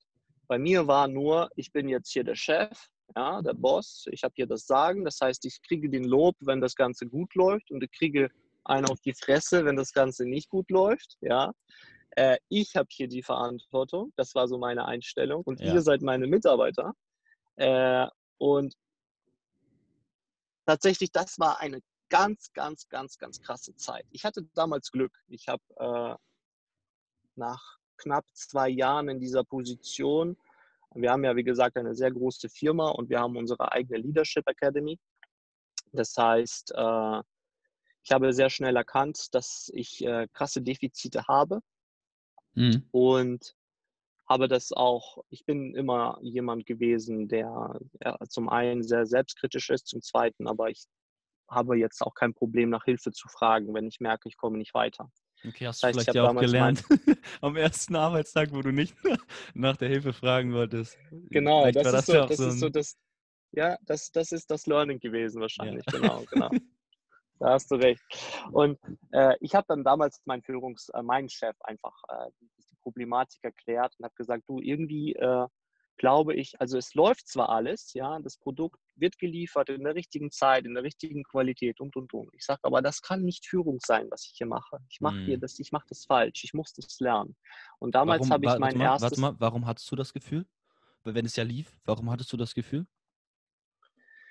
Ähm, dass es nicht sein das kann? Ist eine echt gut, das ist eine echt gute Frage, warum ja. ich das Gefühl hatte. Ähm, zum einen, weil ich selber erkannt habe, dass ich irgendwie Sachen mache, die ich gar nicht machen muss. Ah, okay. Das, ne, ja. Also, dass ich äh, ganz viele Dinge von dem äh, Manufacturing Engineering Bereich übernehmen, äh, übernommen habe damals. Ja. Äh, zum anderen, dass sich äh, das Team, ich habe ich hab nicht gefühlt, dass ich ein Team führe. Das war ein Haufen von Leuten. Mm, aber ja, es war so keine die, äh, Gemeinsamkeit. Genau, also da war wirklich nichts, wir hatten keine Workshops gemacht, wir haben nicht über Ziele gesprochen, gar nichts. Das war wirklich, ich komme zur Arbeit, äh, ich, ich mache mein, mein Thema äh, äh, und gehe wieder nach Hause sozusagen. Also das war nicht, nicht, wie man sich so ein hocheffektives Team vorstellt. Mhm. Ähm, deswegen hat sich das für mich irgendwie alles nicht richtig angefühlt. Okay. Ähm, mhm. Ich hoffe, das beantwortet ein bisschen deine Frage. Ja, ja, ja bisschen. Ja. Und äh, ich habe tatsächlich meinen, meinen Vorgesetzten damals äh, um, um Hilfe gebeten. Ich habe gesagt, irgendwie läuft das hier nicht, also das, das läuft zwar für dich, du siehst, dass es läuft, aber ich weiß, dass ich nicht als Führungskraft hier gerade einen guten Job mache. Und das war immer mein, mein, mein, äh, mein Anliegen, wirklich eine, eine, gute Führungskraft zu sein. Weil ich auch in meiner äh, beruflichen äh, Laufbahn einige einige Chefs erlebt habe, die äh, die sich so verhalten habe, wo ich, haben, wo ich mir gesagt habe, okay, äh, Paul, so möchtest du definitiv nicht sein. Ja, also zum Beispiel, äh, du überziehst deine Pause um fünf Minuten und kriegst von deinem Meister eine Föhnfrisur. Das mm. ist nicht schön. Mm. Das ist auch nicht, nicht wirklich Führung. Ja? Ähm, und damals, äh, da habe ich dann äh, einen ein, ein, ähm, einen Kurs bekommen. Äh, das ging ein Jahr, ein Jahr lang zusammen mit anderen Führungskräften, wo ein Coach, der selber mal wirklich am Top-Level war äh, von unserem Unternehmen, äh, der uns da gecoacht hat. Und da habe ich viele Tools zum ersten Mal kennengelernt. Zum Beispiel, wie man Mitarbeiter motiviert. Ähm, hat auch viel mit Mindset und Psychologie zu tun. Also ich würde das jetzt hier nicht, äh, das, das würde zu, zu weit gehen, wenn ich das jetzt. Da kann man ja vielleicht auch äh, zu dir gehen und zu deiner Firma, die du jetzt gegründet hast, ähm, und kann sich da auch ein wenig äh, ausführlicher ein bisschen beraten lassen, wenn wir mal hier ein bisschen äh, das Ganze promoten können. Ähm, also, also, klar, wir können jetzt, wir, wir sprechen natürlich ein paar Sachen an, aber so, wenn man wirklich die tiefgehenden Sachen ein bisschen erfahren möchte, kann man sich ja nochmal die Leadership Academy, oder? So heißt die Leadership Academy, oder? Wie? Nee, äh, Leadership äh, Revolution. Leadership Revolution anschauen, genau. The, the, the, Leaders Revolution oh, heißt oh, das Ding. Ähm, und das ist tatsächlich noch keine Firma. Ah, okay. Äh, denn ähm, ich, ich sage euch, was da jetzt hintersteckt. Jetzt kann ich, glaube jetzt haben wir genug äh, äh außenrum so weit ausgeholt, dass wir jetzt wirklich zum Punkt kommen kommen können. ähm, was ich gelernt habe, das war Theorie.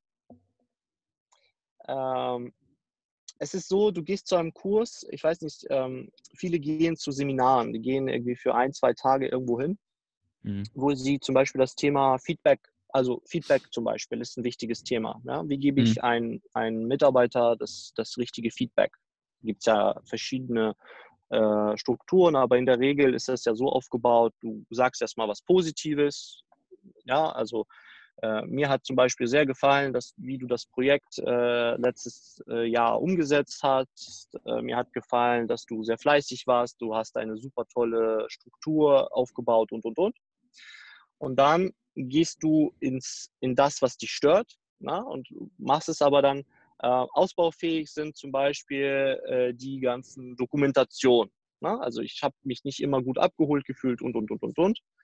Und dann äh, gibst du durch, äh, gibst du durch äh, Coaching-Tools deinen Mitarbeiter die Möglichkeit, sich selbst nochmal zu reflektieren, dass er sagt, okay, hm, alles klar, äh, habe ich verstanden. Äh, vielen Dank für, für das Feedback. Ich, und dann vereinbarst du, keine Ahnung, in, beim nächsten Projekt im halben Jahr, was dich gestört hast, wie ihr gemeinsam daran arbeitet, dass der Mitarbeiter sich verbessert, zum Beispiel. Ne? Das ist so in der Theorie, wie man Feedback gibt. Äh, mhm. Äh, und da gibt es Kurse für. Du kannst für, je nachdem, bei welchem Trainer du das machst, ein bis zwei Tage gehst du dahin, auch wieder mit anderen Führungskräften. Da wird das Thema ausführlich besprochen und es gibt auch Übungen, die du dann mit anderen Menschen machst. Das ist die Theorie. Und dann gehst du mit diesem Wissen äh, wieder zurück in deinen Job. Und willst es umsetzen. Und was ich in meiner äh, achtjährigen Laufbahn äh, als Führungskraft gelernt habe, zwischen Theorie und Praxis, da ist ein Meilen, da sind mm. Meilen Unterschied zwischen. Dazu haben wir auch einen eigenen Podcast, mm. Theorie versus Praxis. Genau dazu. Lustig, dass du das ansprichst, ja. Ja, ja. cool. Und äh, darauf basiert jetzt die Geschichte, die äh, mit der The Leaders Revolution, also warum überhaupt der Name The Leaders Revolution? Ich bin der Meinung, jeder von uns hat einen Leader in sich drin. Also zumindest jeder, der eine Führungsposition okay. hat, hat irgendwo auch einen Leader in sich drin. Er muss ihn nur aktivieren. Er muss eine Revolution in sich selber äh, sozusagen auslösen, das Verstehen, dass, dass er den Leader rauslässt. Ähm, Führungs Kräfte, also für, von Führungskraft zu Führungspersönlichkeit werden. Das ist ein Entwicklungsprozess. Und in Führungspersönlichkeit steht auch das Wort Persönlichkeit. Und das hat sehr, sehr viel mit Persönlichkeitsentwicklung zu tun. Hm, dass man auch das seinen eigenen Stil findet, oder wie? Wie bitte? Oder was, dass man auch seinen eigenen Stil findet, oder wie? Oder was gehört dann für dich genau, dazu? Genau, genau, genau. Es ist ja auch wichtig, dass du authentisch, authentisch bleibst. Dass, mhm. äh, auch da wiederum, ne? also wenn du jetzt zum Beispiel so auf so ein Seminar gehst, äh, wo dir erklärt wird, äh, wie du äh, empathisch äh, dich an, deine, äh, an dein Team, an bestimmte Menschen anpassen kannst.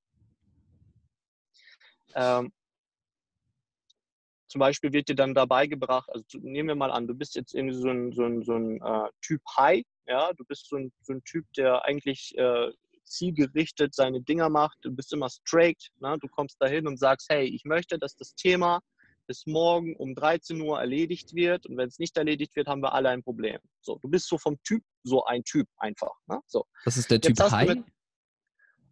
ja, kennt ihr Tobias Beck? Nee. Ähm, vom Namen, aber ich habe mir nicht wirklich, nee, nicht wirklich. Ja, also Tobias Beck, äh, müsst ihr mal googeln. Äh, Tobias Beck beschreibt das immer ganz lustig, finde ich.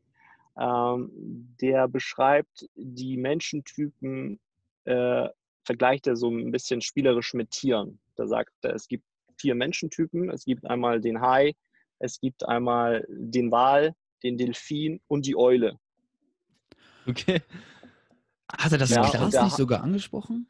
Ich, das kann Äh, ich ja habe das, glaube ich, schon mal gehört. Ja, Ihr aber, müsst aber das mal weiter. googeln, das ist, das, ist, das ist super, super cool, was wie er das vor allem erklärt. Ähm, und das ist aber auch wiederum Theorie. Ja, also Mhm. ich kann, soll ich das kurz an, anbringen? Oder Gerne. Ja, gerne, gerne. gerne. Also Hai ist einfach jemand, der wirklich ähm, ich-bezogen ist, äh, der hat straighte Ziele und der will, der will seine Ziele erreichen und der kann auch zum Beispiel über Leichen gehen. Ne? So, und ähm, Tobias Beck beschreibt in seinem, äh, in seinem Video, ähm, wie so ein Typ auch aussieht. Ne? Was für ein Auto der fährt, welchen Urlaub der macht. Der macht gerne einen auf dicke Hose. Wenn er irgendwo in einer Party ist, dann ist das der, der irgendwie die gesamte Aufmerksamkeit auf sich zieht. Das ist so der Typ der High. Mhm. Äh, der, der Typ Wahl ist eher so einer, äh, der möchte immer die Welt retten. Ja, also der ist immer so total lieb und will immer irgendwie, dass, also seine höchsten Werte sind Familie, dass das alles so schön harmonisch ist, ähm, ist aber auch ein sehr ängstlicher Typ. Äh, reagiert nicht so gern auf Veränderung. Also, So, also der ganz kurz, sind das allgemeine Typen oder sind das jetzt speziell Führungspersönlichkeiten? Nee, nee, das sind allgemein Menschentypen Okay. einfach. Genau. Und äh, dann gibt es den Delfin, der will einfach immer Spaß haben, der ist immer bunt gekleidet, hat immer die neuesten Sachen irgendwie, äh, äh, ist so der Best Buddy sozusagen. Mhm. Äh, dem ist es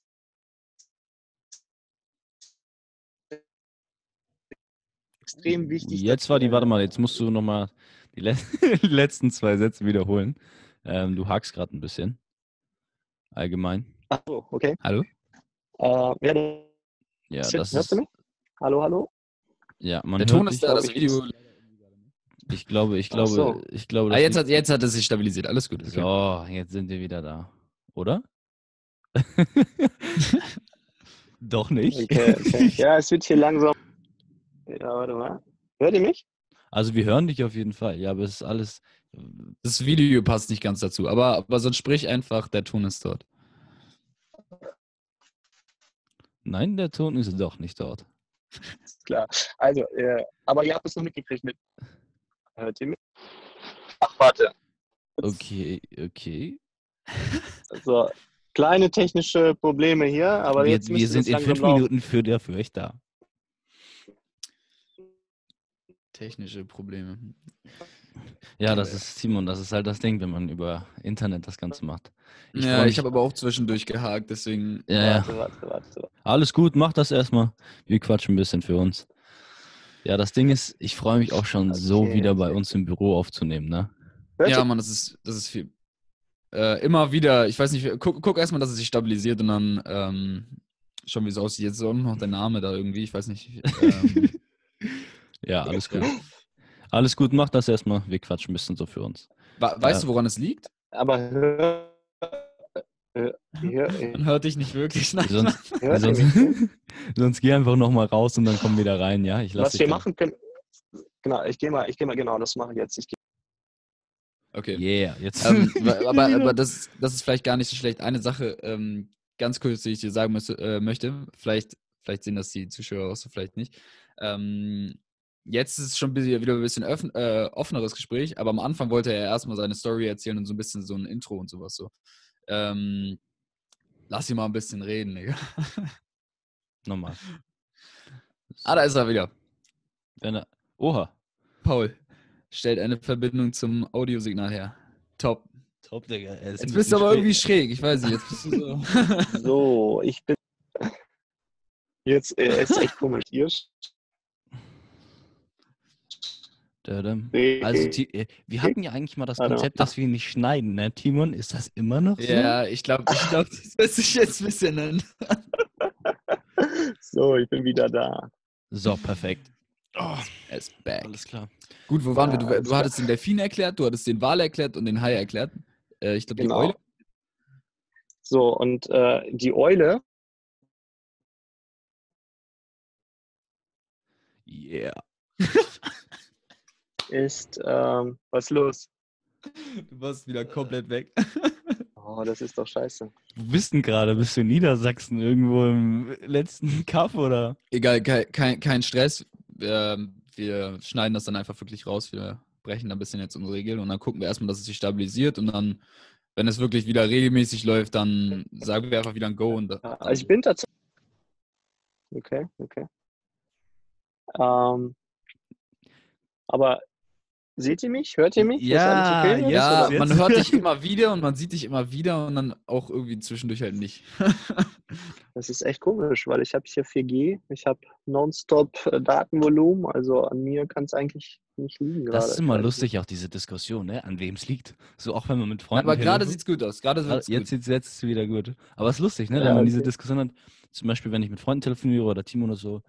Digga, krieg mal bitte dein Netz auf die Reihe. Und dann ist dann so, hey, ich wohne im fünften Stock in Eppendorf mitten in Hamburg. Und der andere ist so, ja, genau das ist das Problem. Du wohnst im fünften Stock in Hamburg. So mitten im Zentrum, da ist kein Netz. Und dann ist so, Digga, willst du mich verarschen? Du wohnst irgendwo in Niedersachsen, im größten Kaff. Du, was, was erzählst du mir hier? Und dann beginnt Ja, die Diskussion. Punkt dann ist- beginnt die Diskussion. Genau, der Punkt ist, der Punkt ist, äh, du hast ja, selbst wenn ich jetzt hier in Niedersachsen im Kaff bin, hier gibt es vielleicht einen Pfeiler und den Pfeiler nutzen vielleicht gerade zehn Leute. Ne? Und du in Hamburg Mhm. bist, wie viele, wie viele Leute connecten sich mit deinem Netz gerade dann da? ja, ne? das, das liegt wahrscheinlich an uns. Bestimmt. Ja. so viel zur Verantwortung übernehmen. ne? Nee, nee, keine Ahnung. Du, Aber äh, gerade gerade scheint es gut zu sein. Also ich würde sagen, wir steigen einfach wieder ein, falls das für dich so geht. So. Ja, alles ähm, klar. Ganz kurz als Also Anfang, so wir haben jetzt hier einen kleinen Schnitt gemacht.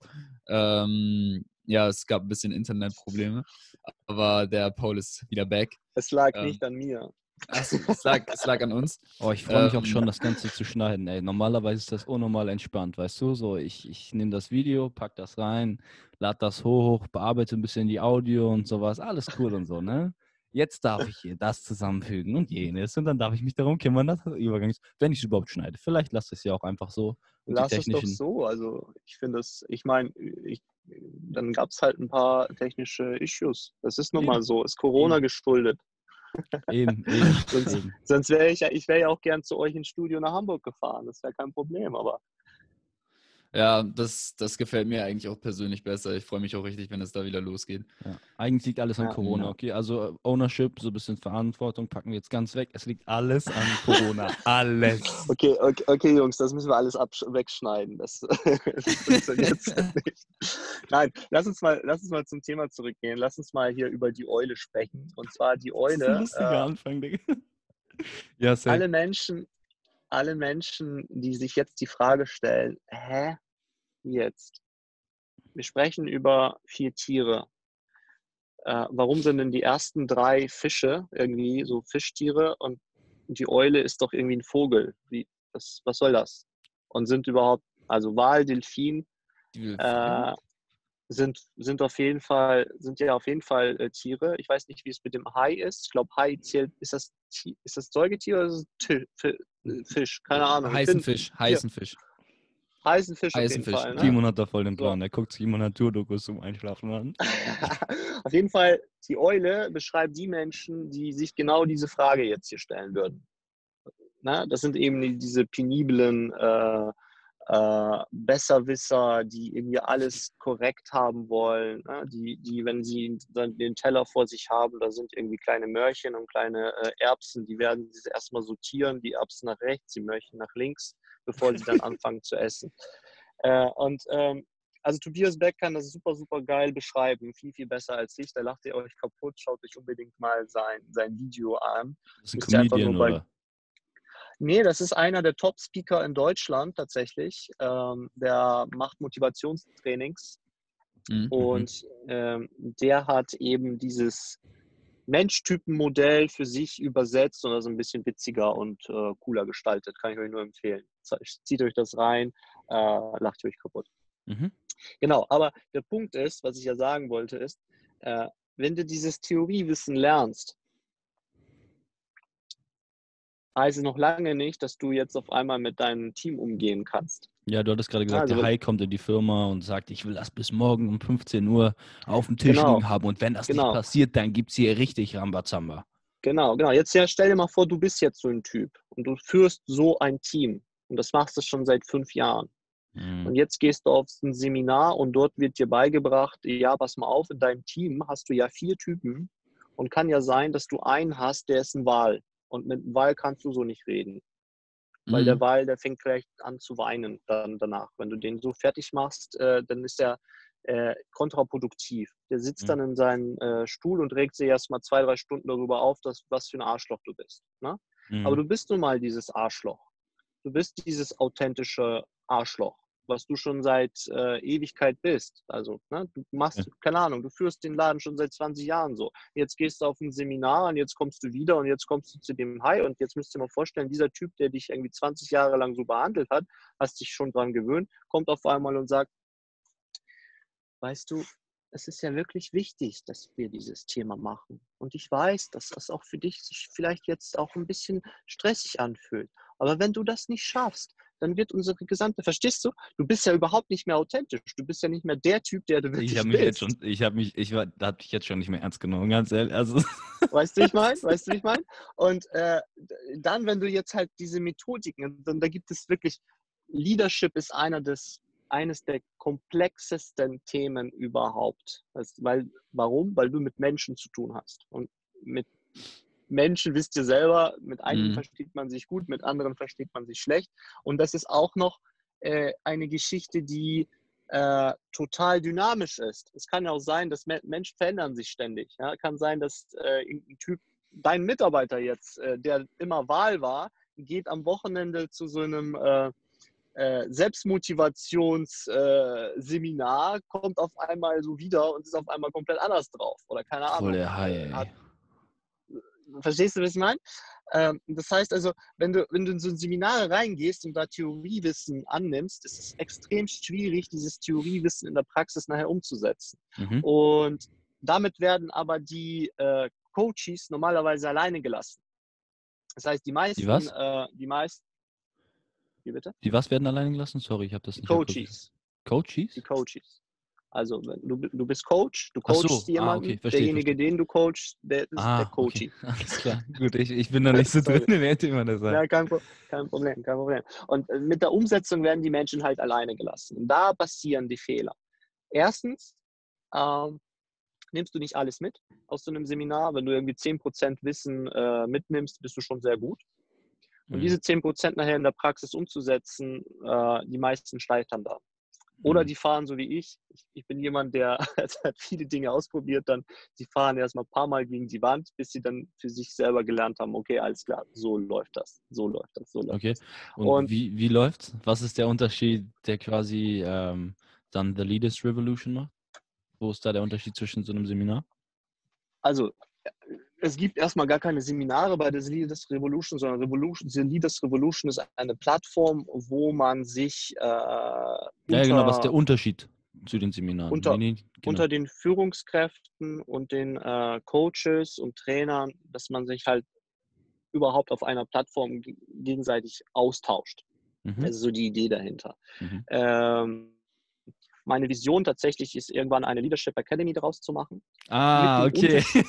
dann habe ich sogar richtig schon angesprochen. Geil, okay. Mhm. Genau, genau. Mit dem Unterschied eben, mit dem Unterschied eben, äh, dass zusätzlich zu den Seminaren die Führungskräfte weiterhin nach den Seminaren äh, begleitet werden durch Führungskräfte, nicht durch Trainer, Mhm. weil durch Führungskräfte, du- die durch diese Scheiße schon mal selber gegangen sind, ja, so als eine Art Mentoring. Das heißt, du kriegst dann einen Mentor, äh, du hast das gelernt Du kriegst einen Mentor, der diesen Weg schon gegangen ist und der begleitet dich und hilft dir bei der Implementierung äh, der Theorie in deine Praxis. Aber wie, wie könnte das aussehen? Also wie, würde der, äh, der, dir da dann helfen? Also sagt er dir dann, was du in bestimmten Situationen vielleicht anders hättest machen sollen oder anders machen solltest? Oder hm. ähm, übernimmt der dann da selber einen Part? Oder? Ist, ist der Begriff Mentoring für euch äh, Ja, äh, wir haben, wir haben, ähm, wir haben, wir waren bei das ähm, Startup-Teams, äh, waren bei den äh, Startup-Teams äh, der WHU. Das ist nee, nicht so Startup-Teams. Äh, Three-Day Startup ist das. Ah ja, nee, Startup-Teams haben wir uns beworben. Ähm, da sind wir dann doch nicht hingegangen. Three-Day Startup sind wir hingegangen. Von der WHU, das ist so ein Startup, ähm, auch Mentoring-Programm. Also wir hatten da dann auch einen Mentor für uns. Ähm, genau. Also ja, und ja. Wie, und wie habt ihr mit dem Mentor gearbeitet? Ähm, der hat uns an vielen äh, Stellen, also wir haben, es ging hauptsächlich darum, einen Pitch vorzubereiten also für, äh, für das Startup selber dann. Und der hat ähm, uns viel, äh, viel, erzählt, wie es, sag ich mal, aus seiner Sicht letzten Endes am Ende ankommen sollte und äh, was er denkt, welche Schritte äh, gegangen werden sollten, beziehungsweise wo auch manchmal Denkfehler allgemein, beziehungsweise vielleicht bei uns sind und uns dann Dinge vorgeschlagen, so, aber wir waren letzten Endes frei in der Umsetzung. Ja, er ist immer zwischendurch mal reingekommen und sagt, ja Jungs, woran arbeitet ihr gerade? Warum machst du das so? Probier's doch mal so, ich gebe dir mal hier den Anstoß ah, okay, ihr könnt das noch nicht so richtig mit Excel und sowas und warte mal, ich bereite euch mal was vor, aber ihr arbeitet dann weiter und wir machen das gemeinsam. Arbeitet dann weiter dran, überlegt euch noch ein paar Sachen, ich komme mal wieder in einer Stunde wieder und so. Ähm, das war mega cool. Also das war mega geholfen. Also es war schon richtig, richtig. Und so ähnlich, und so ähnlich, und so ähnlich äh, ist, funktioniert auch Mentoring tatsächlich. Also erstmal ist das immer eine Person, mit der du dich ein bisschen identifizieren kannst. Äh, und es ist eine Person, die das, was du gerade machst, die deine Herausforderung schon mal äh, selber durchlebt hat. Und es ist einfach eine Person, denen du mal Fragen stellen kannst, beziehungsweise mit denen du aktiv äh, dich austauschst. Zum Beispiel, ich habe jetzt das gelernt, ich möchte es implementieren. Mhm, okay. Äh, wenn ich aus dem Kurs rausgehe, habe ich ungefähr eine Ahnung, wie ich das machen will. Mhm. Äh, dann fange ich das an zu machen und merke, okay, das geht irgendwie in die falsche Richtung. Dann ist es immer gut, wenn man jemanden haben kann, äh, den man mal anrufen kann oder mit dem man sich austauschen kann zu dem Thema, dass man sagt, hey, guck mal, ich setze jetzt, ne, ich habe jetzt war jetzt hier auf einem Seminar und äh, habe mit meinem Mitarbeiter Walisch gesprochen ja. und der nimmt mich nicht mehr ernst. Was, was habe ich falsch gemacht? So, ne? Und, und, und das ist eben der Unterschied. Also diese Nachbetreuung und zwar nicht durch den Coach, weil der Coach, was macht der Coach? Beziehungsweise nicht, sorry, nicht der Coach, der Trainer. Was macht der Trainer? Der Trainer der hat Theoriewissen und bringt dir dieses Theoriewissen auf seine Art bei. Da sind viele Trainer, die machen das auf eine un unterschiedliche Art und Weise. Der eine macht es Zahlen, Daten, faktisch, ja. Der mhm. andere macht es irgendwie, der entertaint dich, je nachdem. Da muss man sich halt aussuchen, was man selber für ein Typ ist, wie man am besten lernt. Mhm. Äh, das ist das eine. Aber der Trainer, der dieses Wissen dir vermittelt, der hat oft das selber gar nicht erlebt, sondern der hat ein Buch gelesen oder der hat Psychologie studiert oder keine Ahnung was äh, und hat sein Konzept und hat seinen Workshop gestaltet und diesen Workshop fährt er ab und den verkauft er. Und diesen Workshop, das ist ein Standard, ja, das macht er tausendmal. Ähm, ist auch gut, also das ist okay. Nur hilft dir das nicht in der praktischen Umsetzung, weil und auch der Trainer ist auch der falsche Ansprechpartner, weil er hat das selber er ist selber nicht zu einem Wahl auf der Arbeit gegangen und hat mit ihm auf einmal irgendwie in seiner Sprache geredet und ist dabei auf die Fresse gefallen, sozusagen, weißt du? Weil mhm. diese Erfahrung ja, das, fehlt ihm einfach. Das, ist ja wie wenn du BWL studierst und auf einmal willst du eine Firma gründen. Das sind auch komplett zwei andere Sachen. An wen richtest du dich, wenn du eine Firma gründen willst? Richtest du dich, genau. sagen wir, ich möchte jetzt mit, ähm, also Timon und ich möchten eine Supplement-Firma gründen. Richte ich mich dann an den BWLer, der vielleicht super Noten gehabt hat und die Theorie äh, perfekt drauf. Also wirklich, der ist 1A in, weiß ich nicht, Recht. Der ist 1A in, weiß und, ich nicht, Vertrieb. Und ich grätsche, ja, ich grätsche ganz, ganz, kurz dazwischen, okay. ganz, ganz kurz. Er ist super 1A, ja, und er hat auch noch ein super geiles Talent, dir zu erklären, wie du so eine Firma aufbauen kannst. Ja, genau, so. Er kann ja? das, genau, und da ist er richtig, ja, hast du Kontingenz? Ähm, auf jeden Fall, und da ist er richtig, richtig gut drin. Also das ist, und du denkst dir, wow, ne, den frage ich jetzt nach Rat. Aber ist dann die Frage, ob, der kann dir bestimmt auch viel erklären. Das will ich gar nicht hier runter machen. Und der weiß bestimmt Ja. auch sehr viel. Und natürlich ist das viel besser, als von Null zu starten. Den solltest du vielleicht auch fragen. Aber in Ergänzung dazu, willst du nicht auch den fragen, der vor dir eine Supplement-Firma gegründet hat? Der kann dir doch sagen, was er an Fehlern gemacht hat. Der kann sagen, was er an guten Sachen gemacht hat. Welche Strukturen man, welche Personen man am besten fragen sollte, wovor man sich in Acht nehmen müsste. Okay, kauf nicht den Rohstoff irgendwie. Das passt nicht dazu. Wie musst du das aufbauen und sowas? Da kann der dir vielleicht sogar mehr sagen. Muss nicht sein, aber es ist ziemlich wahrscheinlich. Und ich finde es cool, wenn du da ein Netzwerk hast ähm, von Leuten, die viele dieser Dinge durchgemacht haben. Sagen wir, ähm, ähm, du bist jetzt in einem ähm, Pod, in diesem Netzwerk mit fünf anderen. So, und jetzt gehe ich in dieses Netzwerk, weil ich da Bock drauf habe. Ne? Ich gehe jetzt zu The Leaders Revolution. Ne? Und ähm, ich habe keine Ahnung. Ich weiß nicht, wie man führt. Aber ich habe gerade einen Job bekommen, sagen wir, ähm, bei Nike und ich soll da jetzt irgendwie ähm, ein Team führen. So, und ich habe gar keine Ahnung. Jetzt gehe ich in diesen Pod von Leuten. Ich weiß nicht, wie es genau bei dir aussieht. Ähm, ich interpretiere das jetzt mal. Ähm, gehe in diesen Pod von Leuten, die alle in diesem Netzwerk sind. Und dann schreibe ich rein, hey, ich bin baff, ich, ich, ich habe total Schiss, ne? Oder irgendwie, ich habe gar keine Ahnung. In zwei Wochen ähm, muss ich bei Nike anfangen und da sind 200 Leute unter mir. Und vorher habe ich ein kleines Team gemanagt, ich habe gar keine Ahnung. Und da ist ganz viele Bereiche, wie soll ich das machen? Und jetzt schreibe ich da. Und auf einmal, von, weiß ich nicht, 100 Leuten, zwei Leute, die vielleicht irgendwie genau in so einer Branche waren. Und die sagen, ey, versuch's mal damit oder versuch's mal damit oder probier das aus oder ich habe das und das an Erfahrung gemacht. Und ähm, wenn die die ganze Zeit bei dir dranbleiben und du kannst denen immer wieder schreiben, dann ist das mega cool. Und gleichzeitig baust du ja ein Netzwerk auf. Deshalb, ich finde die Idee mega geil. Also bleibt auf jeden Fall Danke. dran. Wenn ich das jetzt richtig verstanden habe, wenn ich das jetzt richtig verstanden Gen- habe. Genau so läuft das. Und ich möchte einmal nochmal ergänzend eine Sache sagen. Äh, was ist tatsächlich der Unterschied zwischen dem Typen, der das in Theorie super geil drauf hat und auch noch das Talent hat, es dir super geil zu erklären, und dem Typen, der vielleicht die Theorie nicht so gut beherrscht, aber diesen Weg selber gegangen ist? Was kann der andere, der zweite Typ dir sehr, also deutlich besser vermitteln als der erste? Was denkst du? Oder Authentizität. was denkt ihr? wie man mit den Fehlern umgeht. Und generell die Fehler wahrscheinlich überhaupt. Ähm, die, Ja gut, aber die Fehler könnte ja Ja. auch theoretisch jemand vorher erkennen, die jetzt, Mhm. Der das jetzt theoretisch Die Fehler hat. kannst du erkennen, die Fehler kannst du durch, also ich, ich, ich gehe jetzt mal wieder in den Typ Eule. So, so eine Eule würde sich äh, ganz viel mit Statistiken äh, äh, beschäftigen. Der kann dir ganz genau sagen, welcher Fehler irgendwie wie oft, wo, wie ausfällt und welche Auswirkungen das hat. Aber es gibt einen ganz entscheidenden Punkt, äh, den, äh, den viele äh, am Anfang vernachlässigen oder der nicht so klar ist am Anfang, nämlich Empathie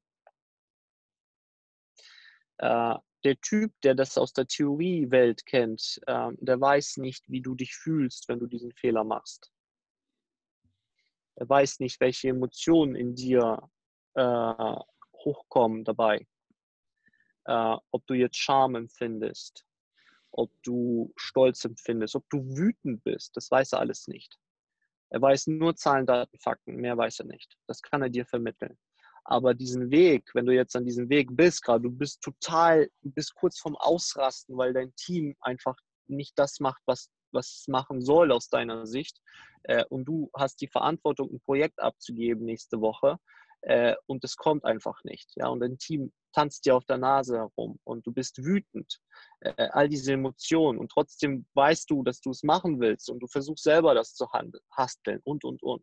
Wenn du mit so einem, mit so einer äh, in so einem äh, Gemüt jetzt den Theorietypen anrufst, dann wird dir der Sachen erzählen, die werden dich noch mehr auf die Palme bringen. Weil er wird dir klugscheißerisch sagen, ja, wieso, aber dann musst du doch das und das so machen und dies und das so machen und keine Ahnung, da hast du einen Fehler gemacht, hier hast du einen Fehler gemacht. Fakt ist, dass Führen immer individuell ist. Du musst dich immer wieder auf Menschen einstellen. Äh, man kann das nicht alles verallgemeinern, das geht nicht. Äh, und der zweite Typ, der wird dir erstmal zuhören und dann wird dir erstmal sagen, ja, ich weiß ganz genau, wie du dich jetzt gerade fühlst in dem Moment. Ich erzähle dir mal eine Geschichte aus meiner Welt, die ich, keine Ahnung, vor fünf Jahren erlebt habe. Das war eine ähnliche Situation, das und das. Und da habe ich mich genau so gefühlt, wie du dich jetzt fühlst. Und äh, das ist ein ganz anderes äh, Vertrauensverhältnis am Ende. Und man, also ich zumindest, ich, ich vertraue eher auf Menschen, die das erlebt haben, von dem, also wirklich erlebt haben, äh, was sie mir beibringen wollen, als an, anstatt Menschen, die das erlesen haben. Und das mhm. ist der große Unterschied. Inwiefern, also so wie das jetzt auf mich klang, also der Hauptaspekt ist auf diese Mentoren, ne, bei deiner, bei deiner mhm. Idee. Ähm, aber gibt es nicht bereits ähm, Mentorship-Programs auch für, äh, für, Führungs, äh, für Führungspersonen? Mit Sicherheit. Es gibt, es gibt viele Dinge. Es gibt auch Podcasts äh, ja, bereits mit, mit unterschiedlichen Menschen. Natürlich, natürlich. Nee, ich wollte fragen, wie hebst, wie hebst du dich da ab? Du hattest auch nochmal erzählt, dass, ähm, dass du trotzdem den äh, Theoretiker, sag ich mal, äh, dann äh, trotzdem noch dabei haben willst, wenn ich richtig verstanden habe. Und das wäre zum Beispiel ja. so ein, so ein ja, Nischenmerkmal, sag ich mal dass du beides dann ich, drin ich, Um ehrlich zu sein, also eine Sache habe ich nicht gemacht. Ich habe nicht recherchiert, was es schon gibt und was es nicht schon gibt. Deswegen habe ich vorhin so provokant geantwortet, äh, mhm. weil ich bin generell getrieben einfach dadurch, dass mir das Ganze Spaß macht. Also okay. Zum einen, ich bin, Führung, ein, bin leidenschaftlicher Führungskraft und äh, leidenschaftliche Führungskraft und ich habe mir persönlich das Ziel gesetzt, zu einer Führungspersönlichkeit zu werden und beschäftige mich viel mit Persönlichkeitsentwicklung und gehe tatsächlich auch selber in Seminare und so weiter und so weiter. Ähm, das heißt, das macht mir Spaß und auf der anderen Seite macht es mir auch Spaß, anderen Menschen zu helfen. Und das kombiniere ich damit. Ob es sowas schon gibt oder nicht, das weiß ich gar nicht. Das habe ich gar nicht recherchiert. Das interessiert mich auch nicht, weil äh, ich bin gar nicht dabei, groß aufs Business raus momentan.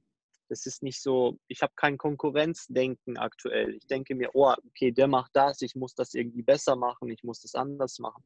Ich mache das einfach so, wie ich es mache. Ich mhm. bin total authentisch. Und es gibt bestimmt Menschen, die denken, okay, äh, was labert der Typ da? Was, was will der? Also weg mit dem. Und es gibt aber auch Menschen, die sagen, hey, das, was der Paul da erzählt, ich kann mich damit voll identifizieren. Ich, mhm. ich, ich, fühle mit ihm und das interessiert mich einfach. Ich, ich, äh, ich, ich folge ihm. So, und das, das ist so mein, mein, mein, mein Doing dahinter. Ähm, mit Sicherheit gibt es schon also so, solche, solche Schulen, die genau solche Programme schon machen, keine Ahnung, weiß ich nicht. Also, okay, erstmal erstmal rein und dann äh, auf Anklang finden. Ja, so machen wir das ja quasi auch. Ich meine, du hast ja, letzten Endes hast du damit ja recht, es gibt ganz viele Podcasts schon. Es gibt auch ganz viele Podcasts, die in eine ähnliche Richtung gehen. So. Ähm, aber wir haben auch selber Bock darauf und deswegen haben wir einfach damit angefangen. Und äh, ja, man merkt ja, es kleben, äh, kleben, bleiben immer mehr Menschen kleben, ähm, die sich mit uns ja identifizieren können, wie bei dir auch. Also willst du selber auch ähm, dann Mentor äh, gerne sein? in deinem. Ähm, ich bin Programm? bereits tatsächlich Mentor, ja, genau. Also ich, ich habe schon einigen Führungskräften, die jetzt gerade starten, äh, helfe ich auf den Weg. Ich habe schon einigen geholfen. Ich helfe auch jungen äh, Menschen, die Führungskraft werden wollen, die jetzt irgendwie einen Rat haben, äh, äh Rat haben wollen. Ähm, es kommen tatsächlich viele, viele Menschen zu mir und fragen mich nach Rat, die mich kennen aus, mein, aus meinem Netzwerk. Und mhm. vielleicht ist auch so die Idee entstanden. Ich dachte, Mensch, äh, wenn ich Menschen helfen kann, warum nicht? Lass uns das doch mal ein bisschen größer machen. Lass uns doch mal die Plattform Instagram nutzen und schauen, äh, was da so geht. Da bist, mhm. du, jetzt, da bist du jetzt auch relativ äh, neu dabei, oder? Jetzt bei Instagram? Genau, ich bin erst, ich bin erst seit äh, ja, ungefähr zwei bis drei Monaten dabei. Ich finde mich da selber erstmal. Das Ganze sieht noch nicht so ganz professionell aus, was ich da mache. Mhm. Ähm, aber mir ist auch immer wichtig gewesen, okay, starte erstmal fang erstmal an und äh, das wird sich mit der Zeit, das wird sich mit der Zeit halt professionalisieren. Und äh, ich bin halt auch so drauf, dass ich, äh, dass ich sage, die Dinge, die ich selber nicht machen kann, die delegiere ich an andere Menschen weiter. Ja, es ist heißt, lustig. Es wird, Sorry, ja. einmal ganz kurz. Ist, ich finde, weil ich gerade gelacht habe, ne, nicht, dass du irgendwas Falsches denkst oder so, ähm, und weil Timo noch gerade so schmunzelt. Das ist genau, also es sind so viele Sachen, die du sagst, die wir genau gleich gesagt haben. Also es ist echt irre. Mhm. Besonders das mit dem einfach starten. Ähm, ich glaube, das sagen viele, aber das ist lustig, weil wir haben auch gesagt mit dem Podcast, okay, vielleicht hat das jetzt gerade nicht die beste Qualität und ähm, wir, wir haben einfach ein Mikro, was extrem alt und nicht gut ist. Also wenn du dir die ersten Podcasts anhörst, Gottes Willen, ich bin ja für ähm, den Podcast so hauptsächlich zuständig und ich bearbeite die Audio und so und ich habe mir das letztens nochmal angehört, als ich alle überarbeitet habe und meine Güte, das hört sich so schrecklich an, also wirklich schrecklich. Aber guck mal, jetzt machen wir hier gerade, ähm, auch wenn es manchmal ein bisschen hapert, ähm, machen wir das Ganze über Video, laden Leute von ganz anderen Orten ein, ähm, haben schon die unterschiedlichsten kennengelernt, haben hier ähm, schon unser Setup.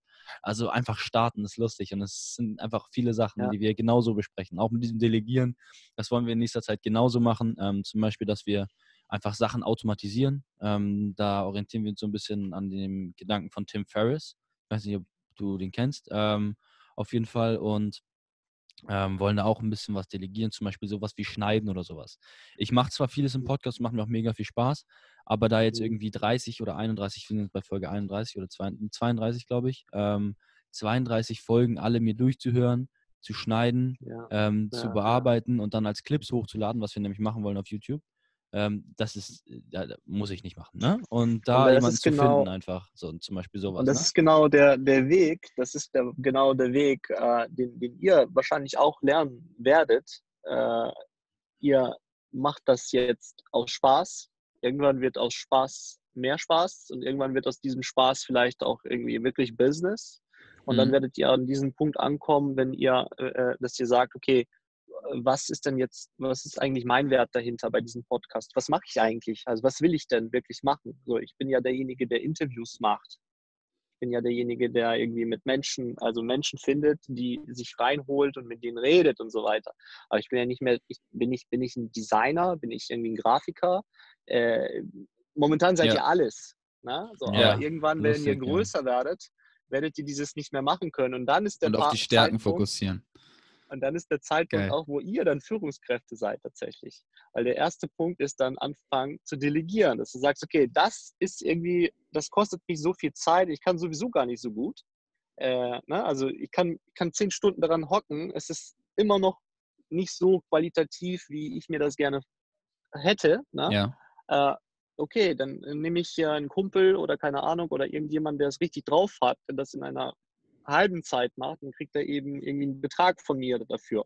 Ja. Das ist ja dieses klassische Delegieren am Ende dann. Ne? Genau, es sind jetzt zehn Stunden meiner Arbeitszeit, fünf irgendwie von jemand anderem in dem Sinne wert. Ich will jetzt das andere nicht runterspielen, aber wenn man sich vorstellt, ich bearbeite jetzt zehn Stunden hier eine Audio, ne? Weil ich alles mir angucken muss, ich muss alles machen. So, sagen wir, im Moment verdiene ich noch als Rettungssanitäter, werde ich jetzt anfangen, ne? Ähm, wieder. Ich habe die Ausbildung, werde ich jetzt wieder vom Studium anfangen, ein bisschen Geld zu verdienen sagen wir, ich verdiene da jetzt ähm, 10 Euro die Stunde, ne? Kriegt so wenig als Rettungssanitäter, das ist ein bisschen irre. Auf jeden Fall, ähm, sagen wir, ich verdiene 10 Euro die Stunde. Aber es sind 10 Stunden Arbeit. In 10 Stunden kann ich 100 Euro verdienen, sagen wir, ne? Davon bleiben mir dann vielleicht 6, 7. So. Wenn ich jetzt jemanden finde, der das in einer schafft, dem 10, 20 bezahle, dann hat sich das trotzdem Exakt. für mich gelohnt. Dann hat sich das, dann, dann habe ich 70 von den 70 Euro ne, die mir übrig bleiben, habe ich 20 bezahlt. Differenz von 50 und ich habe auch noch mehr Zeit. Das heißt, ich habe quasi ähm, Geld und Zeit quasi, sage ich mal, eingespart, wenn man das so sehen möchte. Also und da müssen wir definitiv noch reinkommen. Definitiv. Definitiv. Ja, ja. Aber am Anfang, wenn man, also wenn man selber noch nicht 100% weiß, wie, wie soll das Ganze aussehen, dann ist es natürlich immer besser, dass man das selber gestaltet. Und wenn das Konzept nachher richtig steht, dann du weißt, okay, das ist die Vision, das ist die Vision dann fängst du an, diese Visionen Ziele äh, umzuwandeln. Und diese Ziele wirst du in kleinere Abschnitte schreiben, kleine Häppchen, Häppchen, Häppchen. Und dann guckst du, okay, welches Häppchen kann ich wo am effizientesten einsetzen. Das ist unternehmerisches Denken. Genau, das ist, ja, genau. Und ähm, sehe ich, sehe ich genauso, weil bei manchen Dingen habe ich zum Beispiel, ähm, oder wir, wir haben noch keine ähm, Vorstellung so richtig, okay, wie soll das jetzt Ganze vom Design aussehen? Nehmen wir als Thumbnail jetzt die Person oder nehmen wir als Thumbnail, sagen wir hier, den Videoausschnitt? Solche Sachen einfach. Klar, da könnte jetzt jemand für uns einfach entscheiden, aber das möchten wir nicht. Das heißt, wir finden das erstmal für uns selber raus und wenn wir das dann für uns selber rausgefunden haben, dann sagen wir, okay, Jetzt kann das jemand anderes übernehmen, weil wir eine klare Vorstellung haben. Bevor wir keine klare Vorstellung haben, geben wir nur Geld aus, wenn wir es an andere Leute delegieren, weil die die Sachen nicht umsetzen können. Ne? Und, dann, und dann ist, ist auch der Punkt, wenn, wenn, wenn ihr anfangt zu delegieren, dann werdet ihr mit einer Sache konfrontiert, ob ihr es wollt oder nicht. Äh, das Thema Kommunikation und wie delegiere ich das Thema richtig. Ja, weil das, was du in deinem Kopf hast, das so richtig einen anderen zu erklären, beizubringen, auf welche Art und Weise wie auch immer, dass nachher der Output, für den du bezahlst, genauso aussieht, wie du das gerne hättest. Hm. Äh, das ist so ein, dann, dann, dann, wird das, dann wird das wirklich, wirklich interessant. Dann fängst du an, äh, dich mit äh, automatisch schon mit diesen Führungssachen äh, auseinanderzusetzen. Hm. Was würdest du sagen, ist, ähm, sind so die wichtigsten Eigenschaften für jemanden, der führen möchte, für eine führende Person? Also das absolut Wichtigste ist immer die Selbstreflexion und Selbstverantwortung. Wir hatten vorhin, als die äh, Internetleitung äh, weg war, haben wir damit ein bisschen rumgeflaxt. Ne? Äh, oft neigen wir dazu, automatisch, wenn irgendwas nicht läuft, zu sagen, ja, es läuft nicht, weil. Ja, mein Business läuft jetzt nicht, weil äh, Corona da ist jetzt irgendwie gerade, ne? weil mhm. irgendwie wir, wir sind eingeschränkt und, und, und. Wenn du führen möchtest, dann musst du als allererstes lernen, Verantwortung zu übernehmen. Verantwortung, äh, das Verantwortung ist ein mächtiges Werkzeug. Verantwortung lässt dich, ähm, ja, macht dich, gibt dir die Macht einfach, selber dir die Macht, äh, deine eigenen Entscheidungen zu treffen. Das, wenn du, mal, du hättest jetzt auch sagen können, hey, Podcast nehme ich am liebsten bei mir im Büro auf, äh, in unserem Studio, dann habe ich die beste Qualität. Ja, äh, jetzt ist aber Corona und aufgrund von Corona geht das jetzt nicht. Ne? Hm.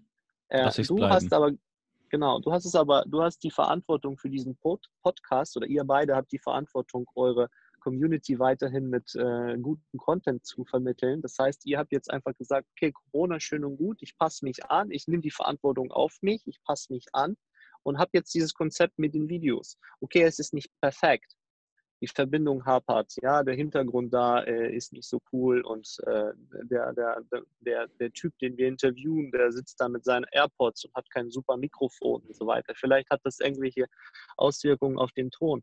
Aber hey, scheiß drauf. Ihr habt euren Job gemacht, ihr habt geliefert und äh, das ist Führungsqualität, was ihr beide gerade da macht. Mhm. Das ist, also für mich ist das eins der wichtigsten. Verantwortung und auf der anderen Seite die Selbstreflexion, dass man immer wieder sich selber fragt, bin ich noch im richtigen Kurs? Bin ich noch, da ist meine Vision, ja, äh, das sind die Ziele, die ich vereinbart habe mit mir selbst und meinen Mitarbeitern. Und dass man immer wieder in verschiedenen Abständen sich selber fragt, bin ich überhaupt noch in diesem Kurs mhm. oder nicht? Ne? Also ich habe mir zum Beispiel als Wert gesetzt, dass ich mit, meinem, mit meinen Mitarbeitern immer auf Augenhöhe rede. Das klappt auch nicht immer, gerade als Führungskraft. Ne? Äh, und dass man da sich immer wieder die Frage stellt, okay, bin ich noch, ist dieser Wert, dass ich vermittle auch in meiner Firma, Speak-up-Kultur und so weiter, lebe ich den auch wirklich? Das sind für mich die beiden wichtigsten Kriterien und alles andere ergibt sich dann daraus. Mhm. Ähm, wo du gerade sagst, lebe ich diesen, diese Sache wirklich? Ähm, da gibt es eine ganz interessante Geschichte von Gandhi. Ähm, da ist eine Mutter mit ihrem Sohn äh, zu Gandhi gekommen und hat gesagt, mein Sohn isst die ganze Zeit nur Süßigkeiten. Was soll ich machen? Und dann hat er gesagt, weiß ich nicht, komm in drei Monaten wieder. Mhm. Und dann ist sie nach drei Monaten wiedergekommen und hat gefragt, so, kannst du meinem Sohn jetzt endlich erklären, dass er keine Süßigkeiten mehr essen will? Weil er, sie hat ihm schon am Anfang gesagt, ja, so, erklär ihm mal, dass das schlecht ist. Und er meinte, kann ich nicht. Lass mich drei Monate warten. So, die drei Monate waren vorbei. Und er hat genau das erzählt, was alle anderen sagen. Hey, Süßigkeiten sind schlecht für dich. Du kriegst äh, Karius und Baktus von Süßigkeiten. Ne? Also einfach so ganz banale Sachen. Dann hat sie gesagt, hast du dich gar nicht darauf vorbereitet, irgendwas recherchiert? Er sagt, nein, das Einzige, was er gemacht hat, warum er diese drei Monate, sie hat ihn gefragt, warum brauchst du für sowas drei Monate? Sagt er, ich musste erst mal selbst auf Süßigkeiten verzichten und komplett nichts machen, damit ich authentisch wirke und dem Kind es auch vermitteln kann.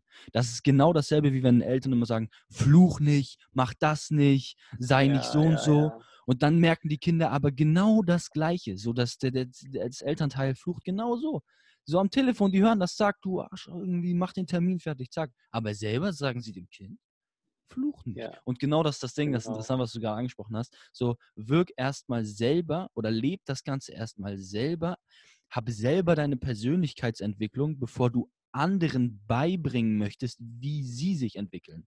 Und genau das ist, glaube ich, das Ding dahinter. Genau, Genau, das ist und die Spirale. reflektier dich dabei. Mann. Genau, super, reflektier super, super dabei. geile Geschichte. Ja. Und Ja. ähm, reflektier dich dabei und schau mal auf den Kompass. Bist du überhaupt noch Richtung Norden, wo du hin willst? Oder befindest du dich schon im Westen oder sogar im Süden? So, und das ist die Frage. Und ähm, andere Sache, kennst du Jocko Willink? Weil viele Sachen, die du hier ansprichst, ähm, sind genauso, also er ist, Jocko Willink ist so ein, äh, ich glaube, der ist Ex-Navy SEAL, oder, Timon? Ja. Ähm, ist Ex-Navy SEAL und ähm, hat die auch trainiert und hat auch, ähm, der ist jetzt, ähm, macht auch Podcasts und alles, ist so ein bisschen Motivationsredner und hat auch viele Bücher geschrieben ähm, und der sagt auch, der ist die ganze Zeit so Leadership und solche Sachen und deshalb dachte ich, vielleicht kennst du den und der sagt auch Nee, extre- tatsächlich nicht. Extreme Ownership. Also extreme Verantwortung. Und da bringt er auch dieses Beispiel, ähm, dass sie während des Kampfes wurden sie irgendwie in die Enge getrieben und es lief nicht. So, dann haben sie sich alle zusammengesetzt und dann was ist falsch gelaufen. Und anstatt äh, hat er überlegt, okay, was machen viele andere? Dann hat er gesagt, okay, normalerweise, der hat das falsch gemacht, der hat das falsch gemacht, der hat das falsch gemacht. Ne? Jetzt kann ich Ja, sagen, nein, ja. du musst das nicht mal das besser machen und tu das. Aber er ist dann zum, ähm, zum, zum, zum, äh, zu, der, zu der höchsten Verantwortungsposition da gegangen und hat gesagt, ich habe meine Mannschaft nicht richtig da reingeführt. Und die Mannschaft hat Genau. das alles mitbekommen ne? und hat gesagt, ich habe das nicht richtig gemacht. Ich habe dem nicht gesagt, er soll das machen. Ich habe auf den zu wenig aufgepasst und habe das zu wenig gemacht. Und jetzt sind alle anderen aus seiner Mannschaft aufgesprungen, nachdem er das gesagt hatte und haben gesagt, nein, nein, Chef und so, nein, ich habe das und so gemacht und nein, ich habe das gemacht. Die sind von sich selber drauf gekommen. Die haben von sich selber das Ja. gesagt, weil sie gemerkt haben, jemand anderes übernimmt auch die Verantwortung. Das heißt, sie konnten auch aus sich selber rauskommen. Das ist dasselbe, wie wenn du jetzt mit deiner, sagen wir, Frau, Freundin, so, du bist da jetzt äh, Frühstückstisch und normalerweise ähm, so alles ist stressig und wer hat das Brötchen fürs Kind geschmiert, ne?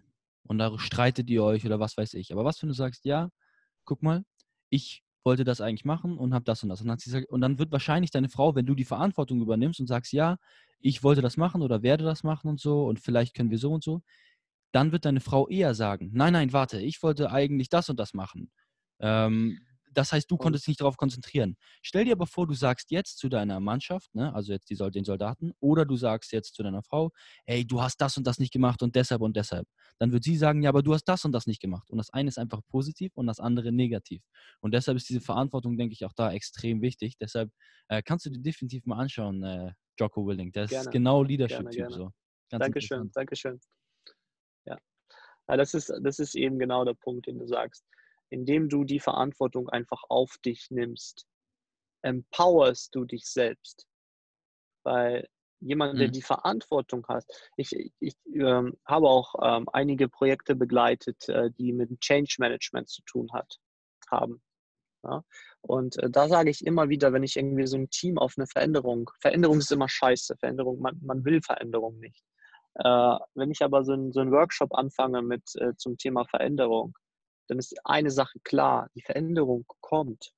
Du das willst oder nicht, das ist scheißegal, die, ist- die wird kommen. Das ist wie so ein Tsunami. Du siehst das Ding kommen, ob du das magst oder nicht, irgendwann kommt's. So, du hast aber immer nur die zwei Möglichkeiten. Entweder du nimmst, übernimmst jetzt die Verantwortung und lenkst die Veränderung in die Richtung, so wie sie dir passt, weil du vorne an dieser Welle, na, weil du da mit deinem Surfbrett diesen Tsunami selber surfst, dass du dieses Ding einfach anwendest und sagst, okay, ich nutze diese Kraft und äh, bewege mich in die Richtung oder in die Richtung. Oder du kannst verharren und sagst, nee, ich habe jetzt keinen Bock drauf, ich habe Angst oder was weiß ich. Aber eine Sache ist klar, die Veränderung kommt. Und dann irgendwann wirst du einfach überrollt. Das heißt, es gibt immer Leute, die übernehmen Verantwortung und machen daraus ihr Ding. Und es Mhm. gibt Menschen, die äh, entweder lassen sich führen oder sitzen und dann kriegen sie irgendwann irgendwas vorgesetzt. Und dann müssen sie damit leben. Na, und das ist der krasse Unterschied. Und deswegen sage ich, äh, Leader, das ist gar nicht, du brauchst gar nicht Führungskraft sein, um Leader zu sein. Ne? Allein diese Einstellung, diese Wertesysteme, dass du sagst, ich übernehme Verantwortung für mich und ich mache eine Selbstreflexion, genauso wie du das äh, geil beschrieben hast mit, mit dem Beispiel mit dem Kind. Wenn meine Eltern mir beibringen wollen, nicht zu lügen, äh, dann sollten sie gefährlich selber nicht lügen. Ne? Und nicht irgendwie ans Telefon rangehen und einen Termin absagen, indem man sagt, ich bin krank, ich kann nicht oder keine Ahnung was, obwohl das nicht stimmt. Das kriegen Kinder mit. Genauso wie du das äh, äh, erzählt hast. Und das ist ja auch schon Leader.